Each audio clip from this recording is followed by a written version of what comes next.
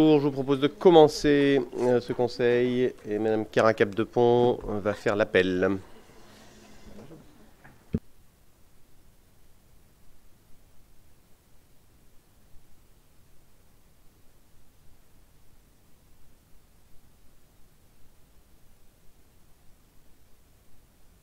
Ah, il faut que je donne le micro. Euh, bonjour à toutes et à tous. Anouche Agobian. Elle va arriver. Maxence Alotto. Katia Bachet donne pouvoir à Luce Bertrand euh, Lopez euh, pour euh, la séance.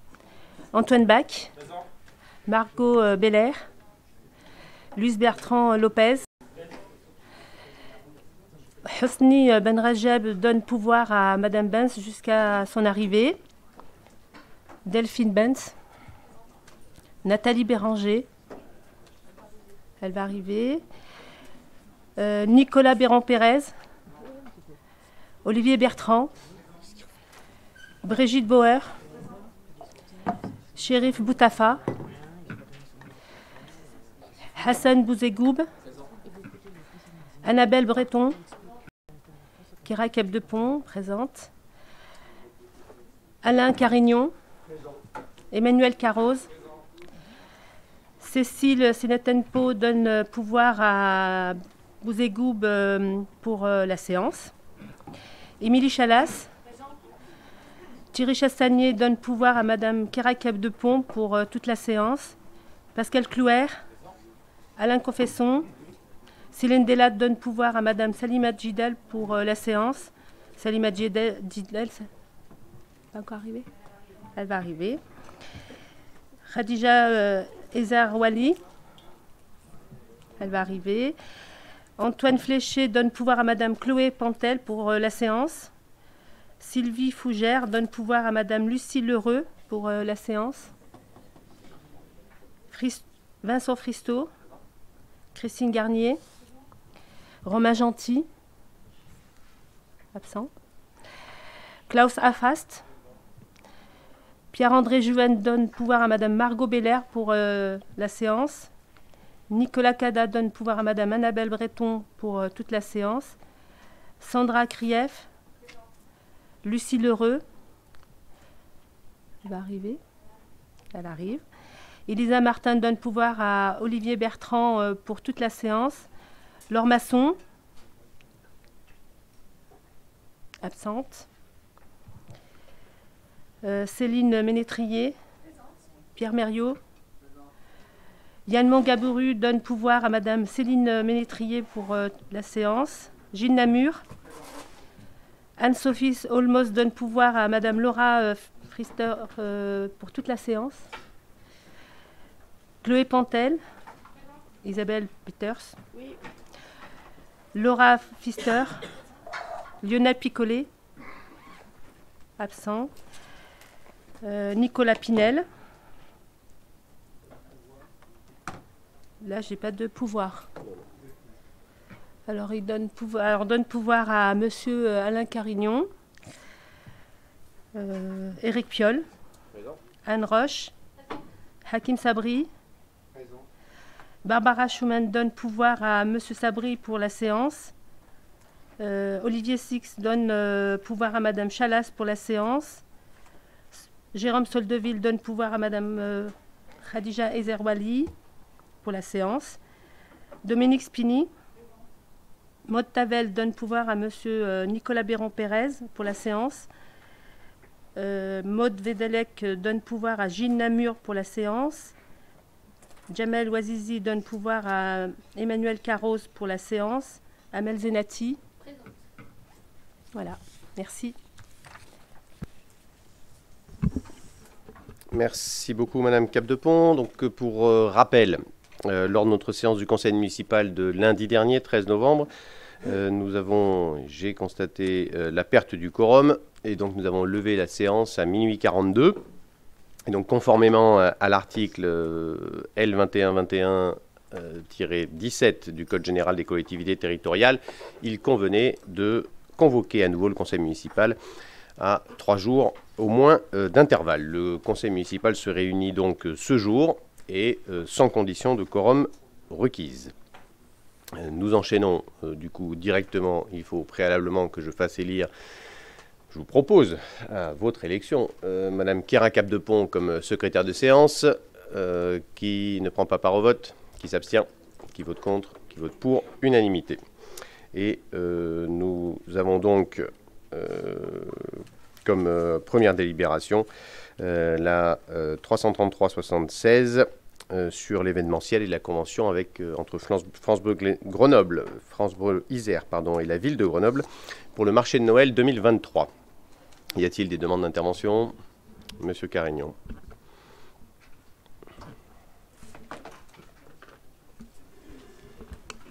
Oui, euh, Monsieur le maire, nous reprenons donc le débat où nous l'avons interrompu lundi, dernier.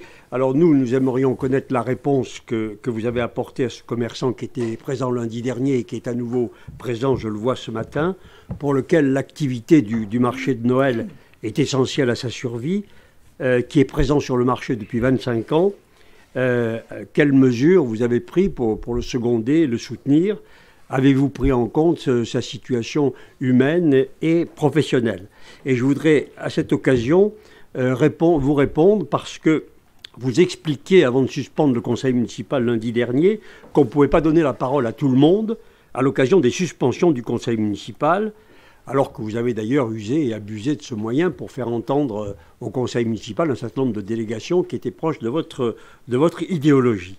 Mais pour nous, je voudrais le dire ici, il est naturel, il est normal, il est logique que quelqu'un qui est victime d'une décision que vous avez prise, dont vous êtes responsable, et qui ne parvient pas à avoir un dialogue fructueux et positif avec les élus, demande à se faire entendre. Je pense que ça, c'est logique. Alors, sur le marché euh, de Noël, le précédent adjoint au commerce nous a informé en séance publique, si je l'ai bien entendu, que la commission compétente et transparente chargée de gérer le marché de Noël d'attribuer les emplacements ne s'était jamais réuni. Alors ça nous paraît grave, parce que l'élu actuel, M. Confesson, a expliqué que la décision était collective. Il semble être un collectif à lui tout seul, si j'ai bien compris. Nous avons donc euh, reçu un nouveau cas depuis lundi dernier d'une élimination d'une femme qui était sur le marché depuis 15 ans. Et quand on lit la réponse non signée du service je souligne cette opacité qui fait qu'un citoyen euh, ne sait jamais à qui s'adresser.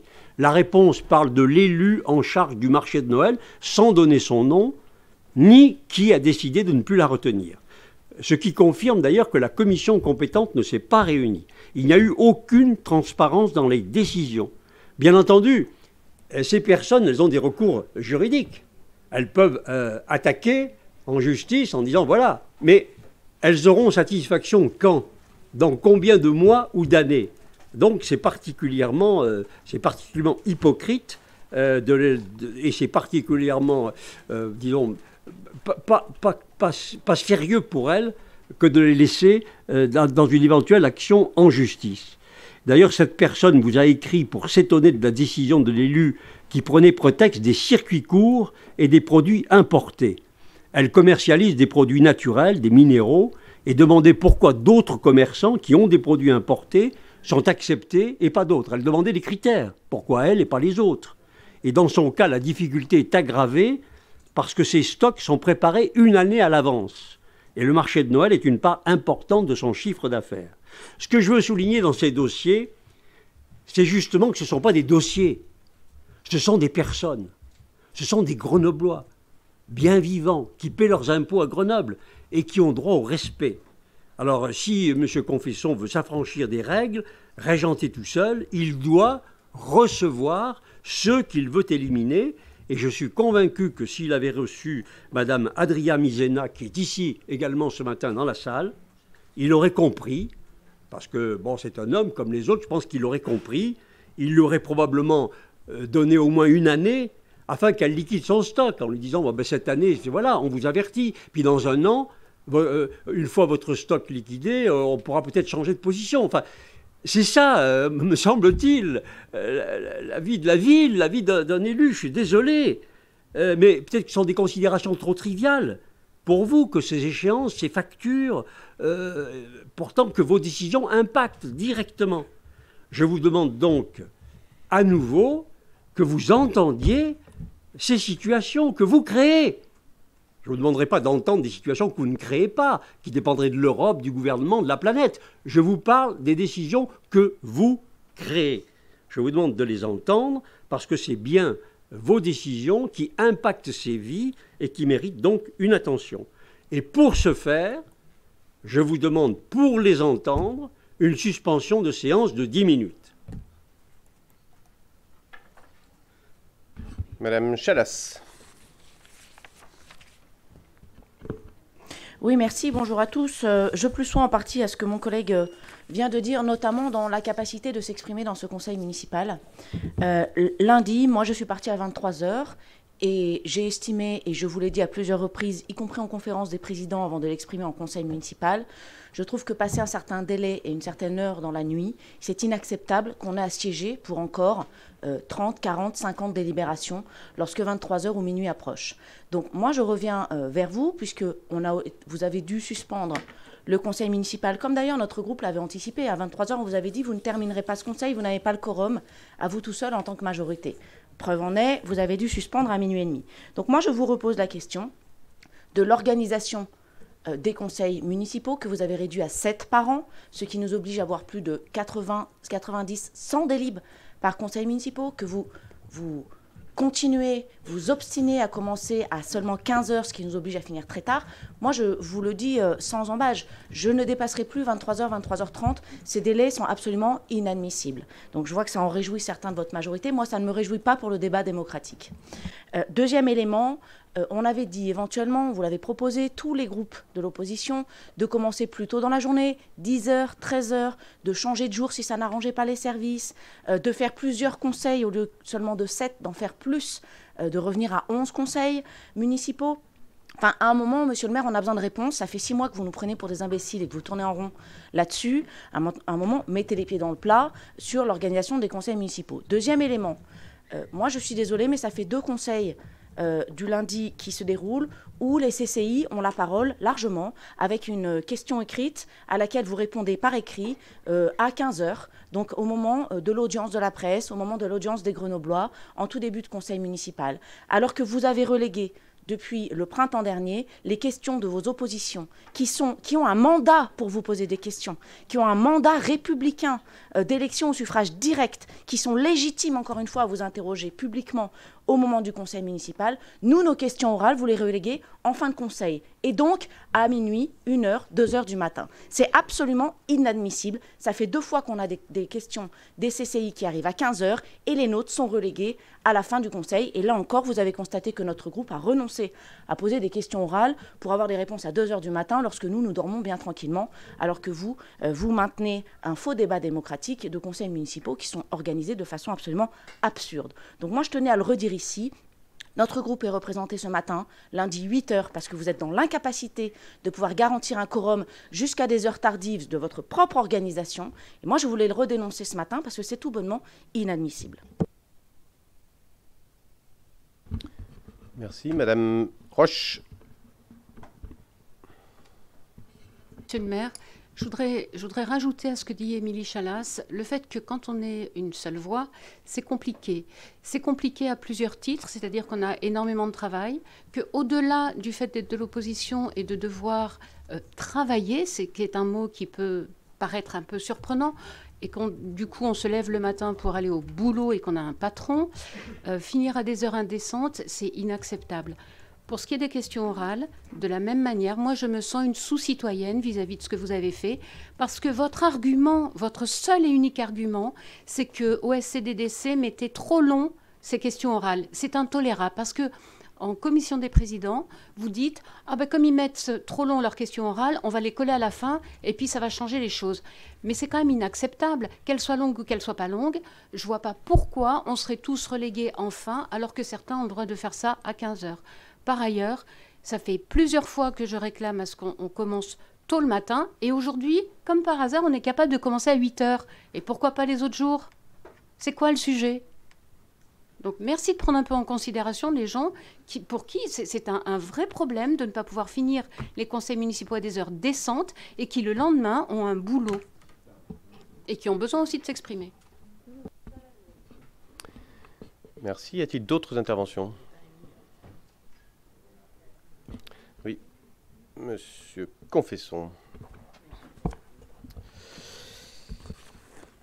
Euh, je vais m'efforcer de rappeler quelques évidences euh, suite à l'intervention de M. Carignon. Euh, j'aimerais en préalable rappeler que cette délibération, à la base, concerne une convention, enfin la délibération qui a suscité le débat sur le marché de Noël, concerne à la base une convention avec France Bleu Isère et, et n'a donc rigoureusement rien à voir avec les débats qui ont eu lieu dans cette enceinte à son sujet. je vais vous donner quelques éléments de chronologie. Donc il y a eu un appel à candidature mis en ligne et communiqué à la liste de diffusion commerçants anciens et intéressés du 20 mai jusqu'au 20 juin 2023. Donc fin d'appel à candidature le 20 juin. Commission de sélection proposée le 4 juillet. Invitation envoyée aux membres de la commission le 5 juin.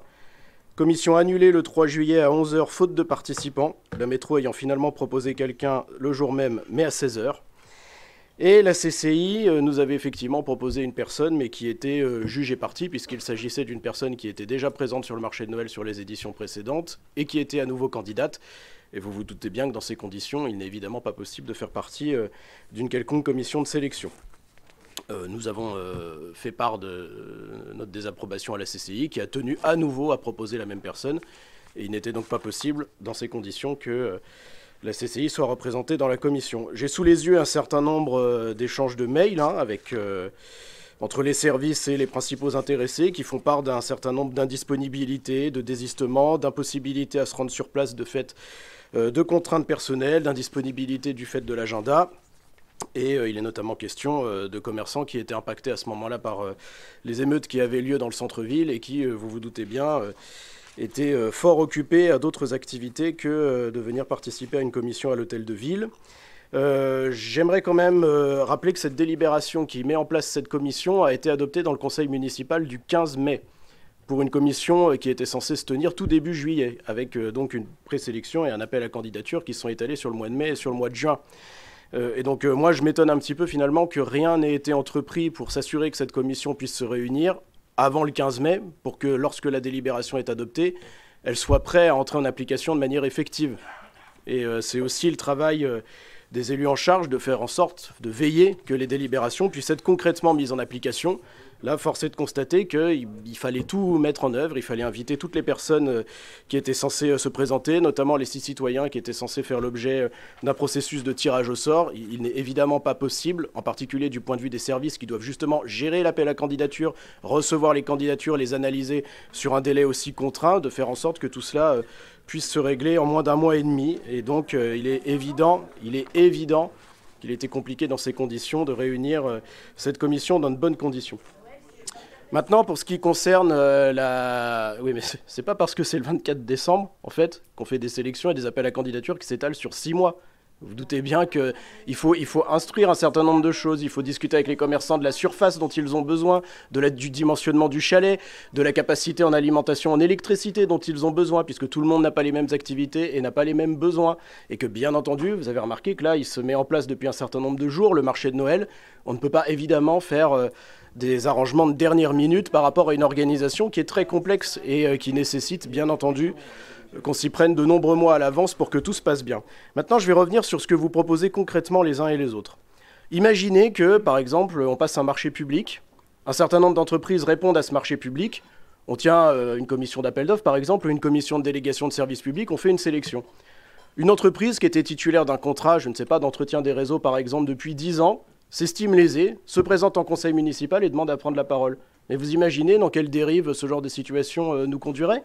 Ça voudrait dire qu'à chaque fois que quelqu'un qui fait l'objet d'une commission, d'une sélection, d'un appel d'offres, s'estime lésé par la ville, elle va demander à prendre la parole en conseil municipal, mais c'est invraisemblable. Et par ailleurs, sur ce que vous préconisez, euh, notamment M. Carignon, euh, d'accorder des délais supplémentaires, euh, que sais-je encore, j'aimerais rappeler qu'on a eu un nombre de candidatures qui était largement excédentaire par rapport au nombre de places disponibles sur le marché de Noël. Et que concrètement, ce que vous proposez, c'est que si on repêche quelqu'un en dehors de tout critère, hein, en dehors de tout critère de sélection, puisqu'il y a eu une évaluation avec un barème, avec des notes. Les critères, je vous les dirai euh, à la fin de cette intervention.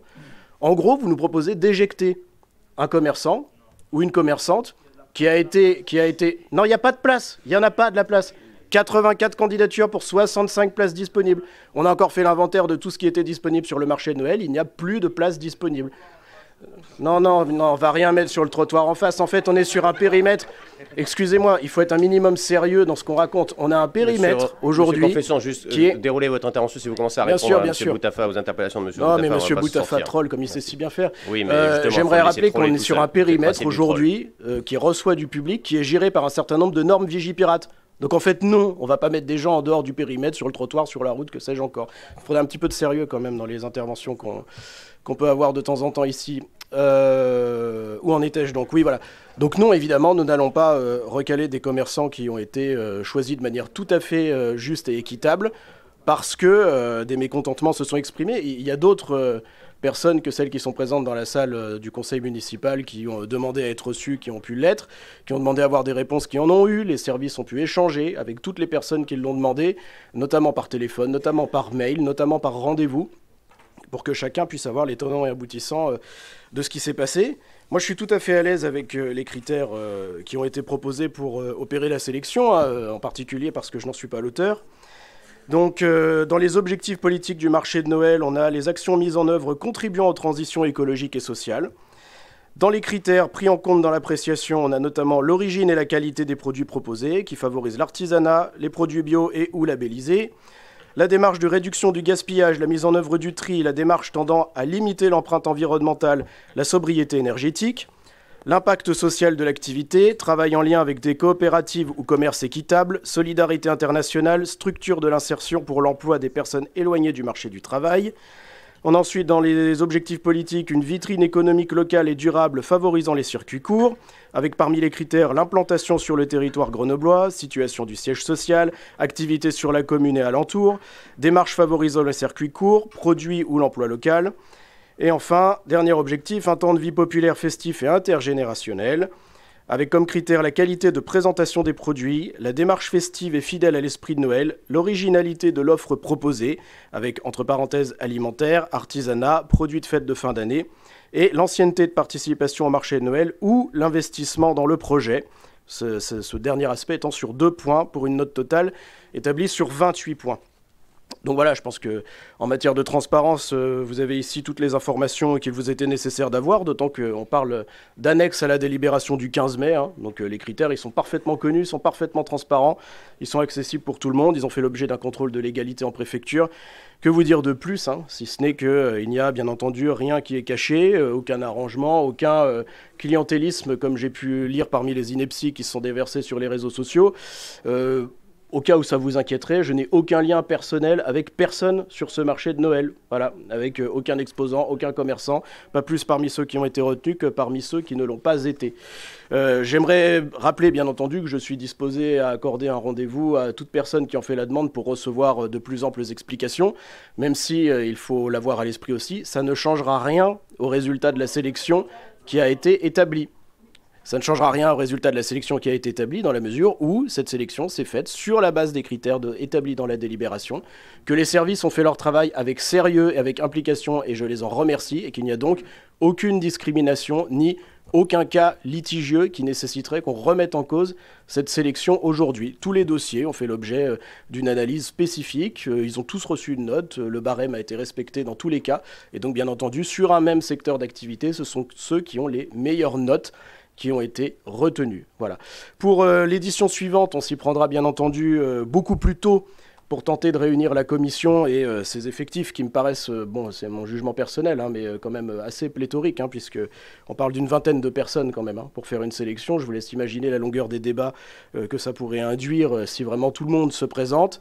Il me semble normal qu'il y ait un élu de la métropole qui participe au délibéré, normal que les chambres consulaires soient représentées, et puis bien entendu qu'on puisse avoir un processus de participation des habitants qui reste encore à préciser puisque la délibération ne, donne pas de processus de sélection détaillé euh, de ce point de vue-là. Donc euh, ça fera l'objet évidemment euh, d'autres débats en conseil municipal, mais je peux vous garantir que je serai vigilant au fait que cette fois-ci on puisse être en mesure de réunir la commission et ses membres dans les meilleures conditions et donc avec des délais d'invitation et de convocation raisonnables. Voilà, je vous remercie. Merci Madame Roche. Alors, Monsieur Confesson, vous avez eu euh, un, grand temps de réponse là, mais moi je vais vous la faire plus courte. En fait, pour euh, avoir le droit d'aller au marché de Noël, pour, les Grenobloises et les Grenoblois, je vous explique, il faut rentrer dans la ligne droite du parti, et auquel cas vous avez le droit d'y être. Et puis si c'est pas le cas, eh ben vous allez mourir, parce que vous dites que c'est pas de la ségrégation et c'est pas. Mais tous les points que vous avez donnés, c'est la ligne droite du parti. Voilà. Sauf que vous avez été élu, certes, par votre majorité, enfin par des, des, Grenoblois, mais il y a tous les autres Grenoblois qui, eux, rentrent peut-être pas dans ces cases-là et qui ont aussi le droit d'être représentés.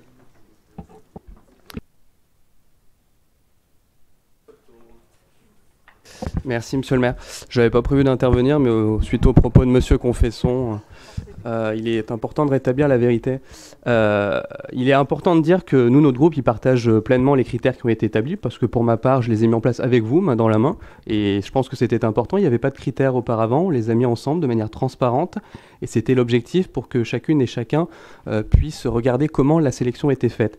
Et s'ajoute à cela, ces critères, c'est cette fameuse commission qui est prévue notamment dans cette fameuse délibération, la numéro 62-31-755, et qui prévoit pas simplement des critères, qui prévoit une commission qui doit se tenir pour sélectionner les commerçants. Et c'est pour ça que nous vous avons posé la question, quand est-ce que cette commission s'est tenue? La réponse aujourd'hui de M. Confesson, c'est de dire tout simplement, cette commission, nous l'avons convoquée, mais en fait, il n'y avait pas assez de participants, donc finalement, on l'a pas tenue. Mais en fait, ça, c'est pas une réponse. C'est-à-dire que s'il n'y avait pas assez de participants, on la reconvoque. Et en fait, même si les participants ne viennent pas, on la tient quand même, on respecte les règles du cadre délibératif qui a été prévu. Et là, en, l'espèce, on n'a pas respecté le cadre délibératif puisque cette commission ne s'est pas tenue puisque les partenaires n'ont pas été convoqués. Qu'ils viennent ou qu'ils viennent pas, c'est leur problème. Après, ils assument de ne pas venir, mais on la tient et on sélectionne de manière transparente. C'est là-dessus qu'on s'est toujours battu, notamment euh, ces dernières années. Et pour rassurer M. Confesson, moi, depuis que j'ai mis en place cette commission, elle s'est toujours tenue les deux dernières années. Effectivement, euh, on a perdu nos fonctions euh, effectivement au Conseil de mai, d'adjoint. Et donc, les, si vous regardez bien, les candidatures, elles ont été lancées à partir du 15, je crois, 15 mai jusqu'au 15 juin. Donc, c'était compliqué de tenir une commission de sélection avant que les candidatures aient été déposées. Donc, forcément, dans la chronologie, elle doit se, tenir après. Et encore une fois, ici, on n'est pas là euh, pour vous demander pour telle ou telle personne des passe-droits. C'est bien au contraire pour ça qu'on a mis des critères de sélection. C'est simplement pour que l'ensemble des critères de sélection plus commission puissent se tenir pour qu'on puisse, après, on puisse justifier aux commerçants pourquoi ils n'ont pas été pris. On ne vous dit pas de prendre tout le monde, bien au contraire, effectivement, il faut faire des choix et les expliquer. C'est toujours ce que j'ai fait euh, durant cette première partie de mandat. J'ai reçu ensuite les commerçants qui n'étaient pas pris parce qu'on ne pouvait pas prendre tout le monde en leur expliquant qu'il y avait une commission, des critères et que dans ce cadre-là, ben, ils n'ont pas été retenus. Et cette commission, en plus, n'est pas seulement composée, euh, on va dire, euh, d'instances, que ce soit les chambres consulaires, la ville, la métropole. On y a mis des habitants exprès aussi pour que les habitants puissent dessiner leur marché de Noël. Je vous le rappelle, 6 habitants, un par secteur, paritaire. Donc voilà, ne me répondez pas du coup euh, que ce serait entre guillemets de ma faute, parce que de mon côté, on l'a toujours tenu dans les règles, dans ce process et dans lequel cette majorité municipale s'est toujours engagée et que nous-mêmes nous nous sommes engagés. Donc voilà, simplement, c'est la seule chose qu'on voulait vous dire, rétablir les choses et euh, ne pas non plus avoir des discours excessifs de dire qu'il peut y avoir des sélections selon des partis politiques ou quoi que ce soit. Justement, les critères sont là pour avoir de la transparence et que chacun et chacune puisse être sélectionné. Il faut être juste là-dessus. Simplement dites, Monsieur Confesson, il y a eu un changement à un moment donné dans cet exécutif. Euh, j'ai récupéré la délégation. Ça a été peut-être un peu juste en termes de timing pour faire tout cela. Voilà, dont acte. Et après, regardons avec ces gens-là euh, comment on peut dialoguer pour essayer de trouver des solutions plutôt que rester sur des positions figées. Et je crois que ce serait dans l'intérêt de toutes les Grenobloises et tous les Grenoblois parce qu'effectivement, ce ne sont pas des dossiers, ce sont des gens derrière, ce sont des gens qui ont une activité, et derrière, il y a des vies, il y a des enjeux financiers vraiment importants, et nous, on n'est pas là pour faire du spectacle là-dessus, bien au contraire, ni pour euh, mettre en avant qui que ce soit et faire de la politique politicienne, mais juste vérifier en termes de transparence que les règles ont bien été respectées. C'est notre devoir, en tout cas, je pense, euh, d'élus municipaux. Merci. Y a-t-il des demandes d'intervention, monsieur Confesson Alors, Juste euh, deux petits points je, vais attendre que. En fait, Madame Roche, c'est pas la ligne du parti, là, ce que je tiens entre les mains. C'est un annexe à la délibération qui a été voté en conseil municipal et tout ce que je vous ai lu est écrit dans cette annexe. Voilà. proposition de critères et composition de la commission de sélection du marché de Noël 2023. Et vous avez un petit tableau où tous les critères sont euh, établis avec un barème. Voilà. Donc euh, non, je ne suis pas en train de vous lire le programme de la France Insoumise, là. Je suis en train de vous lire concrètement une annexe d'une délibération adoptée en conseil municipal. Donc euh, ça peut vous plaire ou pas vous plaire comme critère, mais en attendant, ce sont ceux-là qu'on est tenu de respecter pour faire la sélection au marché de Noël. Et je, je, répondrai brièvement à Maxence Salotto qu'effectivement, la délibération qui met en place ces nouveaux critères et cette nouvelle composition de la commission, elle passe le 15 mai. L'appel à candidature, il est ouvert le 20, pendant un mois. Donc les services concrètement, juste après que la délibération a été adoptée, ils devaient recevoir les candidatures, les classer, les catégoriser, commencer à les évaluer, faire une présélection, ensuite faire la sélection elle-même. Il faut établir d'une part une liste de retenue, une liste d'attente, une liste de personnes qui ne seront pas retenues du tout, puis ensuite établir le contact avec les commerçants pour s'assurer qu'ils puissent être présents, voir s'il y a des désistements, si on active la liste d'attente. Bref, tout ça demande évidemment beaucoup de temps et d'implication. C'est la raison pour laquelle il me semblait que si on voulait être en mesure de réunir la commission dans de bonnes conditions, il était éventuellement plus raisonnable de contacter les personnes qu'on aimerait voir participer à cette commission avant que l'appel à candidature n'ait lieu, de sorte à ce qu'on puisse être certain que sa composition soit arrêtée et qu'elle puisse être réunie dans de bonnes conditions, puisque de toute façon, elle devait avoir lieu, peu importe le nombre de candidatures reçues et le délai dans lequel elles étaient reçues, délai qui, qui s'étalait de toute manière sur euh, un mois, comme ça vous a été euh, détaillé dans la chronologie des fêtes au début de ma précédente intervention. Euh, s'il n'y a plus d'intervention, peut-être quelques petites réflexions. D'abord sur le marché de l'OML lui-même, effectivement nous avons délibéré des critères. Ils ont été portés, euh, construits autour de Maxence Auto. C'était sa délégation, c'est normal, ça a été fait collectivement. Et euh, pour revenir au propos de Mme euh, Roche, nous avons donc eu des débats. Je ne sais pas si vous êtes exprimé lors du vote de, ces critères. Peut-être même que vous avez voté ces critères. ça serait intéressant de, de regarder. mais bref, c'est une délibération du conseil municipal qui fixe ces critères. Après que le processus euh, de la commission ait marché, pas marché, bon, euh, ça c'est la vie. Euh, des, problèmes, il y en a. S'il y en a, ben, il faut les régler.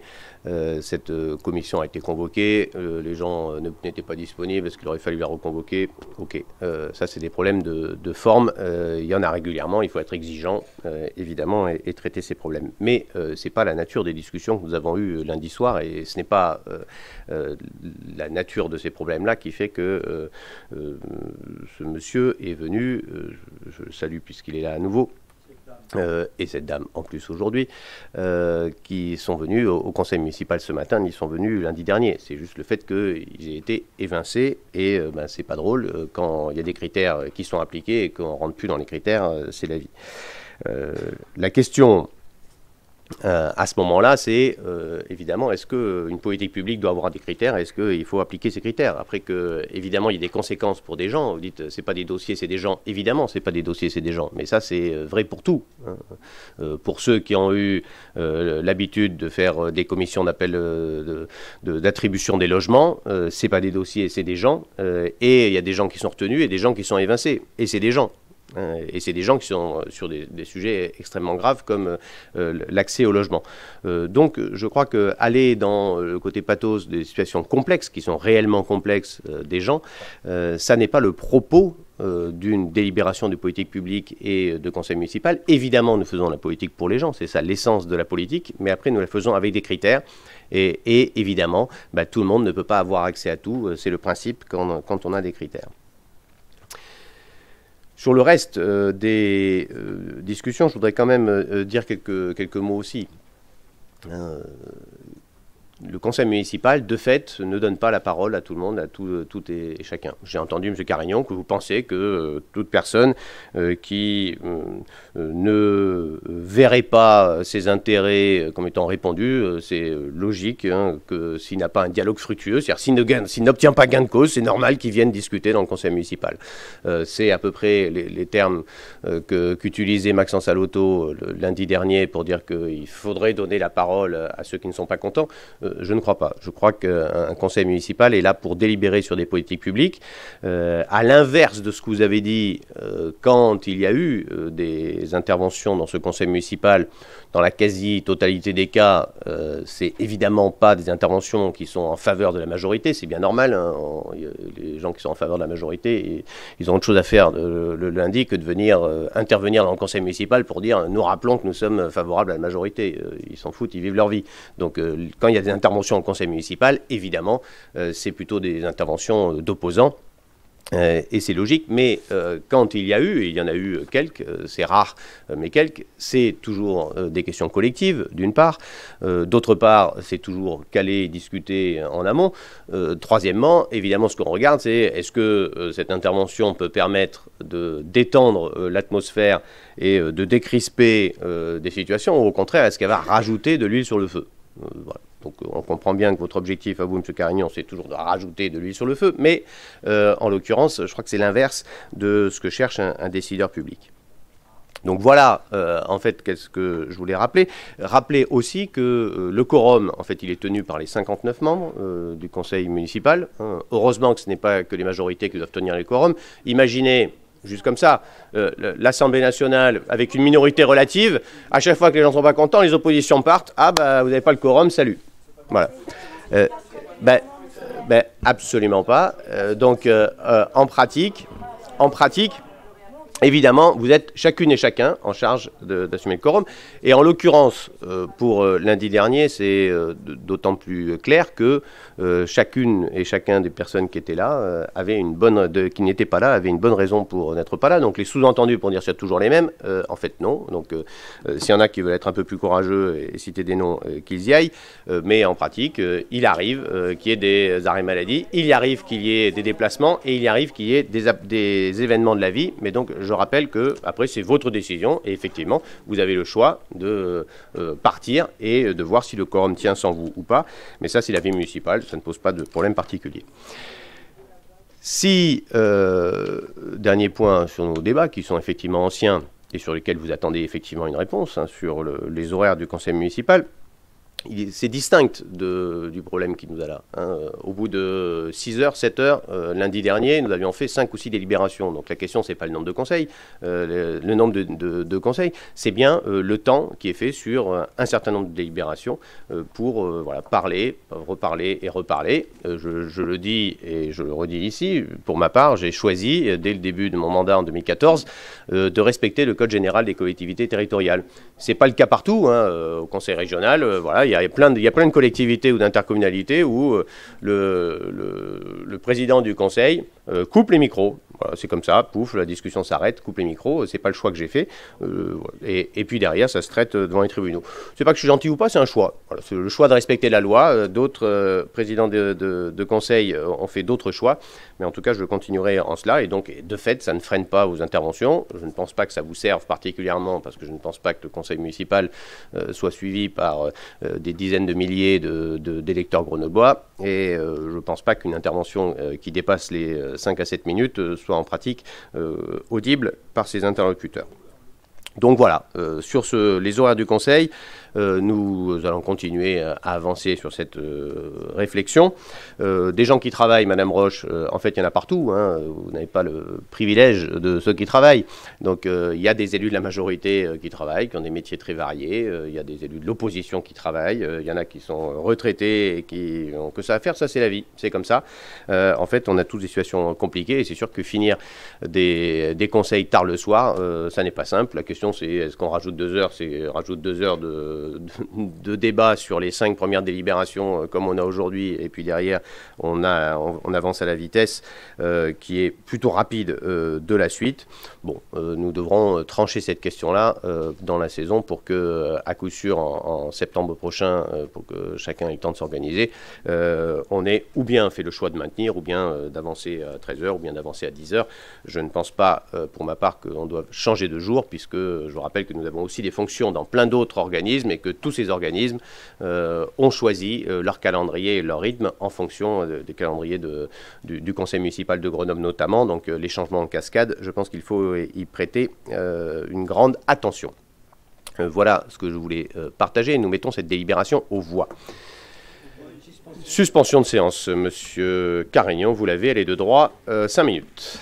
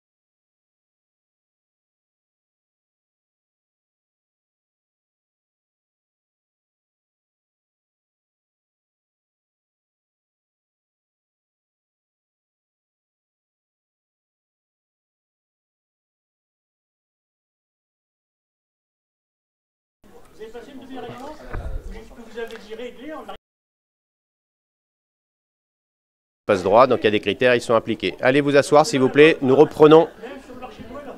Nous reprenons. Monsieur, je vous invite à vous asseoir. Bon, je vais vous demander, je vais demander votre expulsion, monsieur. Allez vous asseoir, je vais demander votre expulsion sinon. Ah si si. Bon, je demande l'expulsion de cette personne de la salle du conseil, s'il vous plaît. Je suspends la séance et je demande l'expulsion de cette personne de la salle du conseil.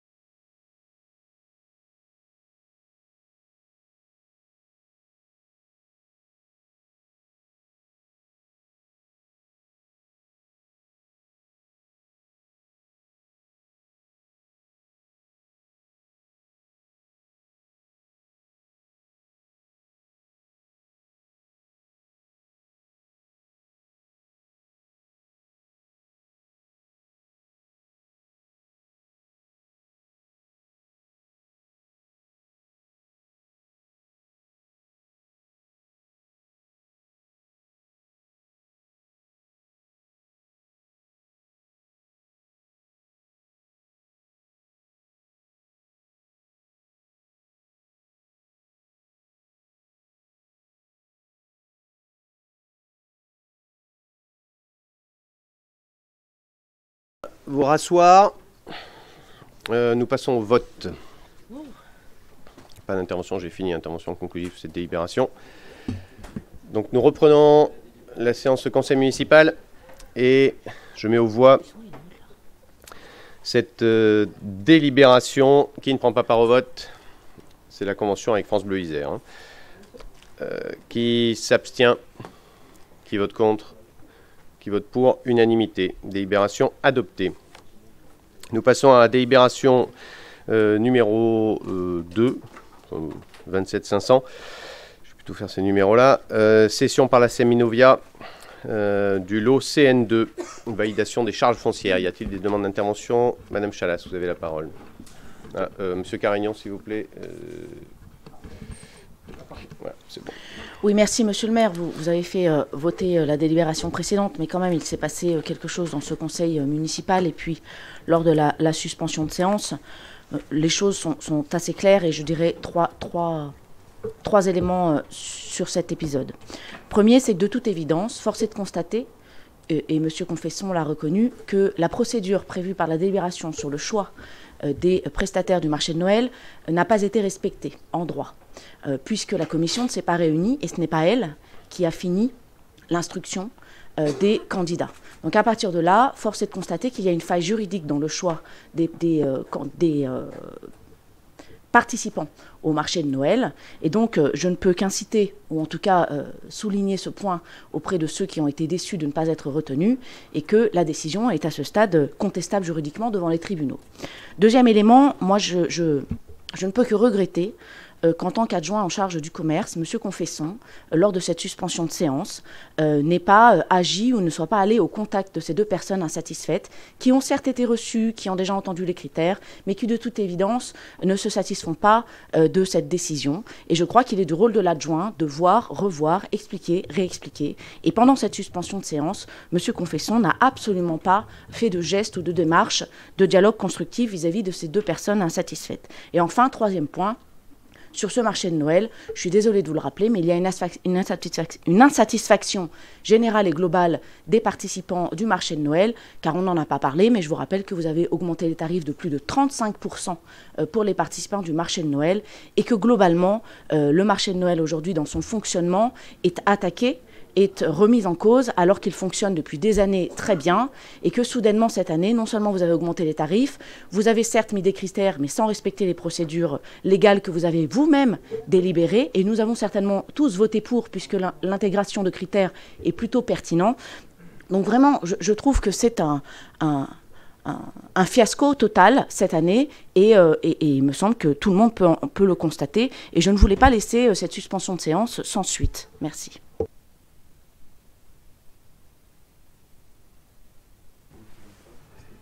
Oui, monsieur le maire, moi je voudrais me, joindre à ces propos concernant le, marché de Noël et, je voudrais dire par rapport aux commentaires différents qui ont été indiqués que, pour ma part, je me serais totalement retiré si l'adjoint concerné, et compétent avait accepté d'entendre les personnes, dont certaines lui ont demandé des rendez-vous qui ont été annulés, etc.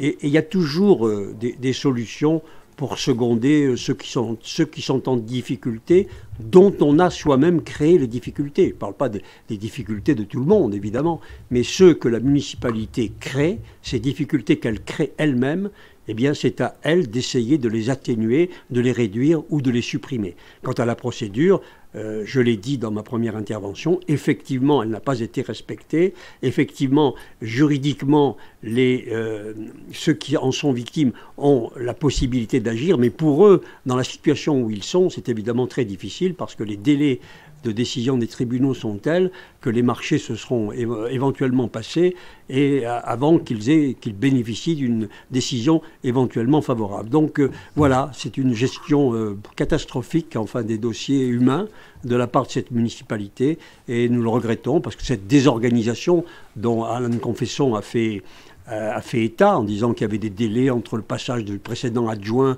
au suivant, etc eh bien, ce n'est pas de notre responsabilité, ce n'est pas de la responsabilité des Grenoblois, mais ce sont bien eux qui en supportent les conséquences. Quant à cette délibération euh, sur la Jacques Presqu'île, pour ma part, je souhaitais en dire deux mots parce que euh, on se félicite euh, de, ce projet. Nous nous réjouissons que, Bouygues Immobilier et les futurs résidents bénéficient de, cette résidence totalement inclusive pour les personnes victimes de handicap. Mais à l'occasion de, de l'érection de ce nouvel immeuble R 9, nous alertons à nouveau sur la densification folle de la presqu'île, où la part d'espace de nature est à la portion congrue, avec le jardin enserré dans les immeubles de grande hauteur. Ce nouveau quartier fait encore baisser la part de nature en ville par habitant, qui est déjà la plus faible des grandes villes comparables. Un membre du GIEC a fortement critiqué ce nouveau quartier, il a jugé aberrant euh, cet urbanisme. Pour notre part, nous notons que ce R 9 sera construit en pleine bordure des voies de chemin de fer, très bruyante à cet endroit, puisqu'il y a aussi la partie garage des trains, et on imagine, euh, si un jour cela vient, le futur RER e qui va passer à un rythme soutenu euh, au pied de ces immeubles. Euh, ici, comme à l'esplanade, vous décidez d'un urbanisme densificateur sans prendre aucunement en compte la qualité de vie future des habitants, l'exposition au bruit de ces futurs habitants. Nous pensons, nous, que c'est une vue à court terme et c'est renvoyer les problèmes sur les générations futures qui devront corriger. Comment, comment? Ces choix qui ne tiennent pas compte euh, de vos expériences passées en matière d'urbanisme. On le voit avec les corrections qu'on est obligé d'infliger à Villeneuve en démolissant, etc. Et là, on va se retrouver dans le futur avec des situations de ce type.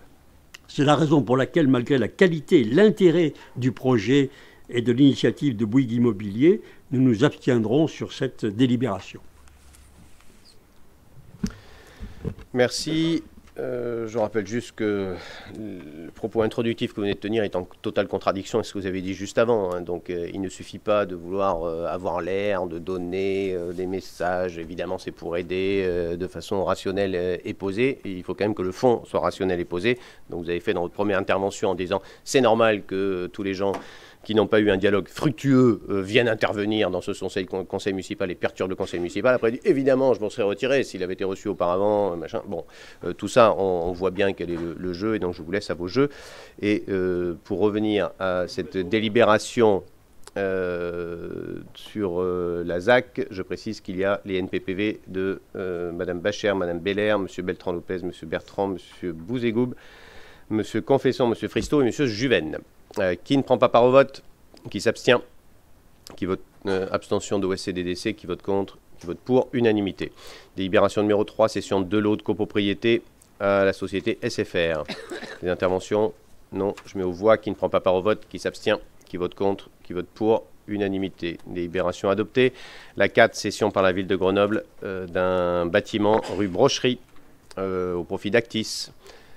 Même vote, même vote. Délibération adoptée. La 5, euh, c'est principe de cession d'un terrain à l'association culturelle Mistral pour la construction d'un lieu de culte. Intervention Non. Même vote. Même vote. Délibération numéro 6, convention de maîtrise d'ouvrage et de fonds de concours euh, sur le chemin du chapitre. Même vote. Même vote. Délibération 7, convention financière euh, avec Actis pour la rue Albert Thomas. Monsieur Carignan, vous avez la parole.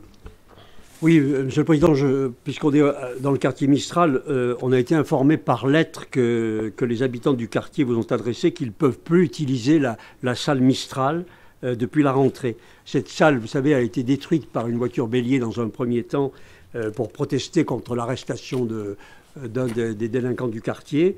Elle a été reconstruite aux frais du, du contribuable.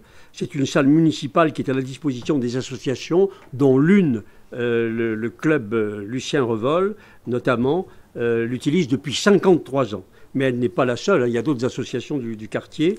Ce sont des personnes âgées dont beaucoup sont à mobilité réduite, qui organisaient deux activités par semaine. Ces activités sont devenues impossibles. Alors pourquoi? Parce que les délinquants ont décidé d'occuper la salle, d'en faire un point de stockage, de distribution, de cuisine, de couchage pour toutes leurs activités. Euh, elle s'est installée dans cette salle municipale, interdisant l'accès à tous les autres. La ville, notamment, euh, entre autres, euh, la belle amie des aînés, n'a pas levé le petit doigt depuis. Alors j'ai rencontré certaines de ces personnes âgées la semaine dernière qui vous ont écrit une lettre collective. Elles sont très meurtries, très affectées d'être si peu considérées. Elles m'ont dit avoir travaillé toute leur vie pour qu'à la fin, ce soit ceux qui dégradent et qui bénéficient du modeste avantage collectif qui existe encore à Mistral, c'est une salle. Ce sont des personnes modestes qui paient leur loyer à Actis. Un couple, par exemple, paie 800 euros un T3 à Mistral, vivant dans des conditions difficiles et n'ont même plus de salle pour se retrouver. Euh, pour elles, c'est une sorte d'apartheid social, hein. c'est une assignation à, domicile. Des personnes âgées qui m'ont expliqué qu'elles demandaient à leurs enfants et à leurs petits-enfants de venir leur rendre visite le moins possible, et qu'ils allaient les accueillir à l'entrée de leur immeuble à chaque visite et qu'ils les raccompagnaient à la sortie car elles n'étaient pas tranquilles. Euh, elles l'étaient que lorsqu'elles les voyaient dans leur voiture. Ça, c'est dans la ville amie des aînés. Alors, il semble, et peut-être que je, suis mal informé, que vous n'ayez pas encore déposé plainte contre l'occupation de cette salle, ce qui démontre une certaine tolérance, euh, une acceptation que, quartier par quartier, euh, en quelque sorte, la délinquance prenne le pouvoir, y compris euh, dans les locaux municipaux. On a la situation des, jardins à Hoche, on a vu, qui étaient aussi occupés par, la délinquance et qui empêchaient les, activités périscolaires. Alors, si vous ne voulez pas porter plainte, eh bien, monsieur le maire, moi je vous suggère d'y aller avec votre écharpe de maire, avec la députée du, quartier, Elisa, Martin, avec les élus, avec votre police municipale. Et pour ma part, moi, je suis prêt, si vous le souhaitez, à vous accompagner, je pense les élus de l'opposition, euh, pour expliquer à, ces jeunes que cette salle, payée par le contribuable, n'est pas organisée pour réaliser euh, les trafics et pour être occupée euh, par un gang. Hein. je pense qu'on ne peut pas, on peut pas accepter cette situation. On on peut pas continuer cette, cette dégradation, cette progression. Je sais bien que vous n'avez pas tous les moyens, et j'en suis conscient pour l'empêcher, mais dans les domaines municipaux, il faut absolument que euh, vous preniez votre part de l'action. On ne peut pas abandonner Mistral, soit vous portez plainte euh, contre cette occupation pour demander la force publique au préfet, soit vous y allez vous-même avec les élus pour demander cette évacuation. Hein, monsieur le maire, vous ne pouvez pas disserter ici ou là, et parfois très loin de chez nous, sur la, démocratie locale, et ne pas prendre les mesures pour essayer de faire qu'un minimum euh, soit euh, accepté, soit autorisé aux habitants de, ce quartier, par ailleurs euh, en difficulté. Et j'espère que, vous accepterez d'agir et de répondre à l'appel qui vous ont adressé. Bon, vous imaginez bien que nous passons un temps conséquent euh, autour de, la lutte, à la fois de la lutte contre le deal euh, à Mistral et euh, également des moyens publics pour faire vivre autre chose. Donc vous imaginez bien aussi que dans des cas comme ça, le point est traité, et je le traite directement avec le préfet, le directeur de, la police nationale, et que ce qui est mis en œuvre possible de mettre en œuvre, euh, utile de mettre en œuvre euh, et discuter euh, évidemment avec les forces de police, les forces de justice et les, autorités représentant le gouvernement. rien de plus à dire là-dessus, évidemment. nous gérons ça, en fait, vous n'êtes pas aux manettes, donc voilà, vous avez les informations. Bah, il fut un temps, mais je crois que la, la fin, c'est vous qui en avez décidé, monsieur, ou la justice. Vous êtes le maire corrompu, je le rappelle. Euh, nous avons donc cette délibération numéro 7 qui ne prend pas part au vote, qui s'abstient, qui vote contre, unanimité. Délibération adoptée. La 8, euh, actualisation des tarifs de droit de place euh, et de voirie. Même vote. Non, monsieur Boutafa, vous avez la parole. Monsieur le maire, il aura fallu attendre que McDo s'y mette pour que vous facturiez les clean tags. Vous avez pourtant été un aficionado de la méthode, l'utilisant à de multiples reprises pour vos campagnes électorales. Mais que voulez-vous? Il y a le bon et le mauvais clean tag. Je rappelle au passage que si la voirie n'était pas dans un tel état de malpropreté, le clean tag, dont la technique consiste littéralement à nettoyer la surface pour que le message apparaisse, ne pourrait matériellement pas exister. Dès lors, quel dommage de vouloir facturer près de 50 euros par clean tag à ceux qui en sont responsables. Car en les considérant comme de l'affichage sauvage, contre lequel il faut lutter, vous actez qu'il faudra nettoyer la zone pour les faire disparaître. On devrait plutôt remercier ceux qui s'adonnent, ceux qui s'y adonnent, de vous pousser ainsi à agir pour la propreté de la ville. Je vous remercie. Merci. Je mets cette délibération en voix. Qui ne prend pas part au vote Qui s'abstient qui vote contre, qui vote pour, unanimité. Délibération numéro 9, euh, dérogation au droit d'opposition de la collecte des numéros de plaques d'immatriculation dans le cadre des stationnements payants. Madame Spini. Merci, Monsieur le maire. Alors, nous constatons avec cette délibération que s'agissant du stationnement et des automobilistes, vous n'hésitez pas à vous affranchir du droit d'opposition à la collecte des données il y a un impératif technique de saisir les plaques d'immatriculation, donc le nom du propriétaire de la voiture, le tout étant tout de même conservé jusqu'à 7 ans. Avec ceux qui ont toujours opposé le respect de la vie privée pour freiner, les caméras de vidéoprotection, on comprend que l'automobiliste et le stationnement sont l'exception. Vous faites appel à l'exercice de l'autorité publique et nous y sommes très sensibles. Nous aimerions que vous en appeliez à elle aussi pour améliorer la sécurité des Grenoblois, car contrairement à ce que vous dites au Dauphiné, beaucoup de Grenoblois ont peur de se promener à Grenoble et beaucoup, beaucoup de victimes peuvent en témoigner. Cette autorité publique s'exercerait parfaitement aussi si vous mettiez en place un réseau de caméras relié à un PC opérationnel 24 heures sur 24 avec une police armée.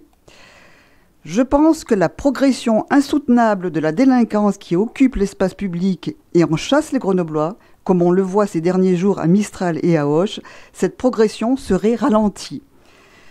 Et nous ne pensons pas que vous auriez plus de contestations sur la collecte des données en matière de sécurité qu'en matière de stationnement. Je vous remercie. Merci beaucoup. Donc je rappelle qu'effectivement, nous sommes favorables à l'usage des caméras euh, pour euh, euh, la collecte de plaques d'immatriculation et la verbalisation. je suis favorable au radar plutôt que d'avoir des policiers sur les bords de route.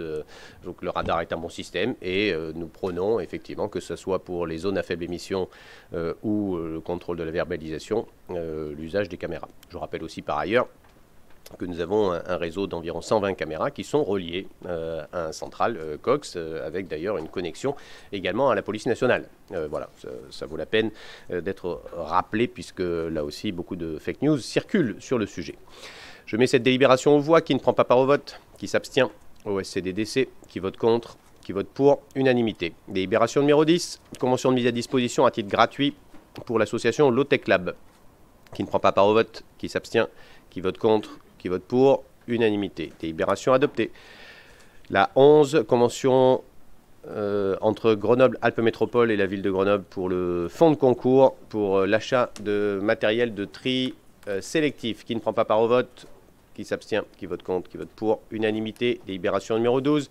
Signature officielle de la déclaration de Paris pour la lutte contre le sida. Même vote. Même vote. Délibération 13. Admission en non-valeur de produits irrecouvrables. Même vote, même vote. Euh, délibération numéro 14, autorisation de programme et crédit de paiement, création et modification. Même vote. Non. Abstention de SCDDC, unanimité. Délibération adoptée. La 15, garantie d'emprunt, CCAS et hors sol. Qui ne prend pas part au vote, qui s'abstient, qui vote contre, qui vote pour, unanimité. Délibération adoptée. La 16, convention euh, avec le CCAS pour les hum, dispositifs communs d'action sociale. Même vote, même vote. Non, abstention de OSCDDC. Unanimité. Délibération 17, rapport des représentants de la ville de Grenoble euh, au conseil d'administration de territoire 38. Qui ne prend pas part au vote Qui s'abstient Qui vote contre Qui vote pour Unanimité. Délibération adoptée. La délibération 18, euh, territoire 38, autorisation de création pour euh, la SAS Énergie. NPPV de M. Juven et Mme Bacher, qui ne prend pas part au vote, qui s'abstient, qui vote contre, qui vote pour, unanimité. Délibération 19, elle concerne euh, nos représentants, non, prise de participation de GEG e dans la filiale GEG Ener, dans une société de projet NPPV de M. Confession, M. Fristo, Mme Tavel, qui ne prend pas part au vote, qui s'abstient, au SCDDC, qui vote contre, qui vote pour, unanimité. Délibération adoptée. La 20, compagnie de chauffage intercommunale, euh, rapport annuel des représentants de la ville de Grenoble, qui ne prend pas part au vote, qui s'abstient au SCDDC, qui vote contre, qui vote pour, unanimité. Délibération adoptée, la 21, rapport annuel euh, des représentants de la ville de Grenoble au sein de Grenoble Habitat. Euh, y a-t-il des demandes d'intervention? Non, qui ne prend pas part au vote, qui s'abstient? Au SCDDC, qui vote contre, qui vote pour, unanimité. Délibération adoptée, la 22, rapport annuel des représentants de la ville de Grenoble euh, au sein de l'ALEC, la SPL. Madame Boer, vous avez la parole. Oui, monsieur le maire, mesdames, messieurs, à l'occasion de cette délibération sur l'agence ALEC, nous avons une question à poser suite à l'alerte lancée par l'Union des habitants du centre-ville qui vous a adressé une lettre sur les budgets participatifs. Saviez-vous que le porteur du projet qui a emporté 50% des budgets était un salarié de l'ALEC dont vous êtes actionnaire? l'Union des habitants souligne l'étrangeté d'un système qui aboutit à ce que la politique de la ville en faveur des panneaux solaires soit financée par les budgets dits participatifs et présentée par un salarié d'une annexe. L'année dernière, c'était un salarié du service Nature en Ville, dont Gilles Namur est responsable, qui emportait le budget participatif pour planter des arbres. Nous exprimons cela et posons ces questions au moment du rapport sur ALEC, car on voit mal où le faire dans le fonctionnement municipal, puisque le conseil municipal est tenu à l'écart de toutes les procédures et décisions concernant ces budgets qui sont devenus une opération entre vous. J'espère que vous répondrez à l'union de quartier et éventuellement à nous, et que vous en tirerez les conséquences concernant ce que vous appelez les budgets participatifs. Je vous remercie. Euh, oui, c'est une, vraie question hein, qu'on s'est posé dès le début, puisqu'il y a eu dès le début euh, des euh, porteurs de projets qui avaient un intérêt très particulier. Certains, la première dépôt de budget participatif qui nous avait questionné, c'était des parents d'élèves de l'école Clémenceau. leur école n'avait pas été choisie après critères pour la réflexion urgente de la Cour. Euh, et euh, du coup, ils avaient déposé un budget participatif. On s'est dit, bon, ben voilà, il y a euh, un, processus collectif qui avait été engagé à l'époque par Fermi Malbé pendant 11 mois sur le plan école, quelle priorité, où, quand, et à l'issue de ça, ben, ceux qui finalement n'avaient pas été revenus dans cet arbitrage qui était a priori pour l'intérêt général construit collectivement, venaient déposer un budget participatif. Et puis, comme vous l'avez dit, on a eu un certain nombre de cas où des gens qui ben, ont un travail dans un certain domaine, mais sont par ailleurs euh, militants de ce domaine, ben, viennent poser avec leur casquette de militants un, projet. Euh, nous avons fait le choix que ces budgets participatifs restent euh, ouverts à toutes et tous et que donc ça n'est pas un frein d'avoir un métier qui, si vous travaillez dans le domaine qui vous passionne, ben, ça n'est pas un frein, ça ne devrait pas vous disqualifier pour votre vie citoyenne dans ce domaine-là. Donc euh, je, comprends que ça pose question, ça nous a posé question, euh, mais nous assumons que ces budgets participatifs restent ouverts euh, à toutes et à tous. Et nous assumons le fait que les gens, quelle que soit leur fonction dans la collectivité, la communauté, pas la collectivité municipale, mais bien dans la collectivité, ben, qu'ils travaillent dans leur champ de, passion ou pas, eh ben, ils, ont en fait toute liberté pour déposer des budgets participatifs. Je mets aux, voix cette délibération qui ne prend pas part au vote, qui s'abstient. Euh, donc au SCDDC, qui vote contre, qui vote pour, unanimité. La 23, affectation de subventions sur crédit existant, euh, NPPV de Mme Fougère pour l'ODTI, M. Beltran Lopez pour la date, M. Soldeville pour l'MPT Saint-Laurent, Mme Lheureux et M. Bertrand pour la Belle Électrique et M. Cada et Mme Fister pour euh, l'AGEXA. Intervention euh, Madame Boer, oui, je vous en prie. Ça ne marche pas, excusez-moi. Ah, ça y est.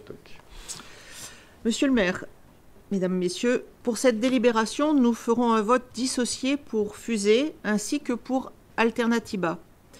Il nous paraît tout à fait déplacé de subventionner une association aussi proche idéologiquement et politiquement de vous. 5 000 euros pour Alternativa pour des copains politiques, donc, sur le dos du contribuable grenoblois, très peu pour nous. Et c'est encore plus déplacé alors que vous lui avez déjà mis à disposition un local de 155 mètres carrés à l'esplanade pour une bouchée de pain. Quand on aime, on ne compte pas, c'est bien connu. Non seulement Alternativa fonctionne comme une caisse de résonance de vos mantras, en glorifiant toujours votre action et sans jamais vous remettre en cause lorsque votre bilan est contradictoire avec ce qu'ils défendent, que ce soit pour le retard pris pour la lutte, contre les îlots de chaleur, pour la nature en ville ou votre complaisance avec les paradis fiscaux. Mais on y va, on y a de plus retrouvé pendant des années comme coordinatrice une candidate de votre parti aux élections départementales juste à côté de Grenoble. Récemment, on les entend se faire l'écho de deux de vos marottes, la lutte contre le métro câble, évidemment sans rappeler que vous avez impulsé ce projet avant de devenir contre pour des raisons de détestation personnelle du président du SMAG, Sylvain Laval, et la gratuité des transports, évidemment sans rappeler qu'avec l'endettement que votre gestion laisse au SMAG, c'est un fantasme qui ne peut pas voir le jour. Sur ce point, vous avez tout de même dû vous restreindre, la proximité aurait été peut-être trop flagrante. Vous leur avez refusé une demande de subvention de 2000 euros pour se rendre à Montpellier pour étudier la gratuité des transports. 2000 euros pour faire Grenoble-Montpellier. Heureusement que vous avez refusé. On ne sait pas s'ils comptaient y aller en voiture-taxi avec chauffeur? À ce prix-là, mais on constate que la gratuité coûte cher. Je vous remercie. Merci. Euh, bon. là aussi, c'est un, cas, une étape de, plus par rapport à votre intervention, mais euh, de fait, nous conduisons des, politiques publiques, euh, elles sont orientées sur le climat et la biodiversité. Donc, euh, si vous considérez que tous ceux qui travaillent dans le domaine du climat et de la biodiversité et de la justice sociale sont a priori nos copains, et donc il faudrait surtout pas euh, financer toutes les associations qui travaillent dans le champ de la justice sociale, de la biodiversité ou du climat, bah, euh, c'est sûr qu'on a là une petite complexité. Donc, je le dis et je le redis, effectivement, les politiques publiques sont définies avec un cap clair qui n'est pas forcément partagé. Voilà, effectivement, on l'a entendu euh, encore dans vos interventions lundi dernier. Euh, on peut dire que sur certains sujets, nous sommes aux, antipodes les, uns des autres. Euh, mais ce n'est pas pour ça que ceux qui sont proches de nous sont éliminés par définition. On ne va pas se mettre à subventionner vos amis réactionnaires juste parce que là, vraiment, on ne pourrait pas dire qu'il y a quoi que ce soit en conclusion, puisque nous finançons que des politiques qui vont à l'inverse du cap pour lequel nous avons été élus. Donc euh, je, voilà, je reconnais que ça, peut être désagréable. Euh, pour vous, euh, voilà, c'est aussi désagréable pour moi quand, quand, je vois les, chasseurs subventionnés pour 3 millions d'euros par Laurent Vauquier et qu'on arrête les subventions d'associations environnementales ou qu'on a vu l'arrêt des subventions qui s'occupaient des, droits des femmes. évidemment, c'est désagréable. Voilà, c'est le principe de, de, la démocratie. Je mets cette délibération donc aux voix. Pardon. Excusez-moi, c'est noté. Donc, M. Bouzégou, NPPV pour le COAMIS. Euh, qui Madame Chalas. Oui, on voudrait un vote séparé, s'il vous plaît. Oui. Pour euh, les fusées. Et voilà. Oui. Très important. OK. Donc, c'est noté. Contre pour fusée pour le reste. Et pour le reste, je mets la délibération aux voix. Qui ne prend pas part au vote Fusée et Alternativa. Donc, contre les deux cas pour SCDDC. Euh, qui ne prend pas part au vote, qui s'abstient, qui vote contre, qui vote pour. Donc euh, unanimité, allez, non pas unanimité puisqu'il y a deux votes euh, séparés, donc unanimité sauf pour Fusée et sauf pour Alternativa. Délibération adoptée. La 24, convention de partenariat avec le CEA sur les réemplois des capteurs solaires photovoltaïques, qui ne prend pas part au vote. Ah, Madame Spini. Merci. Euh, monsieur le maire, à l'occasion de cette délibération, Vincent, Fristo nous apprend que nous aurions déjà économisé 50% des dépenses d'électricité sur le site où nous nous trouvons, l'ancien siège du Crédit Agricole. Il affirme qu'avec l'investissement de panneaux photovoltaïques sur la toiture, le résultat va être amélioré. Nous aimerions enfin disposer d'un bilan de l'opération Crédit Agricole, puisque le siège a été acquis pour 8 millions d'euros et que la ville a engagé quasiment autant pour le remettre aux normes et l'aménager. Quand nous disons quasiment, c'est parce que une fois, euh, parce que pas une fois, nous n'avons eu le bilan complet du coût. Ça nous permettrait de mesurer la qualité des économies par rapport aux investissements, la durée de retour sur investissement, auquel s'ajoute donc le coût de ces nouveaux panneaux photovoltaïques en collaboration avec le CEA. On comprend bien qu'il y a un effort sur la filière locale de réemploi dont nous nous réjouissons. Notre seconde demande concerne la société énergie citoyenne qui a le monopole des collectivités pour les panneaux photovoltaïques. Est-ce qu'elle est partie prenante de cette opération avec le CEA Ensuite, nous sommes demandeurs pour la commission ressources. Nous avons écrit au coprésident en ce sens d'un bilan détaillé du fonctionnement de cette société, de ses salariés de l'origine des matériels choisis, du chiffre d'affaires, etc. Merci.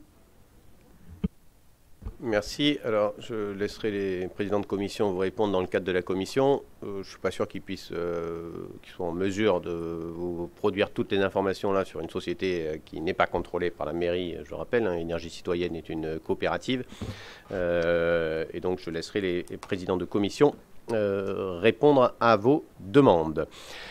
Euh, nous mettons cette délibération aux voix. Qui ne prend pas part au vote Qui s'abstient Qui vote contre Qui vote pour Unanimité. Délibération adoptée. La 25, euh, administration générale, mise à disposition euh, des élus de véhicules pour l'exercice de leur mandat. je crois qu'il y a deux amendements. Madame Fister, vous avez la parole. Oui, oui bonjour à toutes et tous, merci Monsieur le maire. alors, l'amendement qu'on a un tout petit peu modifié concerne donc L'ajout dans le corps de la délibération, après la phrase suivante Aucun vélo à assistance électrique n'est autorisé dans ce cadre, d'ajouter la précision suivante à l'exception du maire, dont le véhicule de service individuel a été remplacé en 2014 par un vélo à assistance électrique. Et par ailleurs, nous ajoutons dans le corps de la délibération, après chaque terme suivant véhicule, d'ajouter la précision suivante à moteur fossile. Voilà. Merci.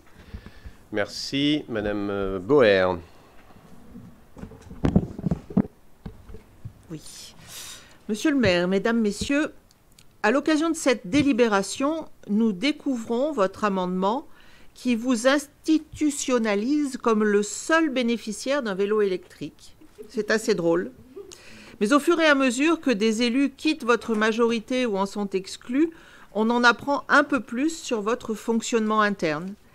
Il semblerait que les élus signent un règlement très contraignant au moment où ils entrent dans la majorité, qui codifie tout, y compris la chance de pouvoir rencontrer le maire une fois par semestre, s'il le veut bien. Lundi dernier, Alain Carignon a développé avec précision ce fonctionnement proche de la secte. À voir le comportement de vos élus, nous aimerions savoir si dans cette discipline imposée, il y a l'obligation de se déplacer en vélo. Nous vous posons cette question parce que qu'une fois vos élus libérés de votre tutelle, ils se déplacent parfois en voiture et ne le cachent pas, suivant leurs nécessités, ce qui n'est jamais le cas de ceux qui demeurent encore dans votre majorité. On se trompe peut-être, mais on ressent qu'il semble joyeux de retrouver la liberté sur tous les plans. Nous vous posons cette question parce qu'on est parfois malheureux d'en voir certains dans le froid, le vent, la pluie, à 3 heures du matin, après un conseil municipal, partir en vélo dans la bourrasque, et cela nous étonne que 100% d'entre eux le fassent de leur plein gré. D'ailleurs, si le petit livre rouge du fonctionnement interne existe, vous devez aux Grenoblois de le rendre public. C'est une transparence indispensable pour la démocratie locale. Les Grenoblois ont le droit de savoir comment vous fonctionnez.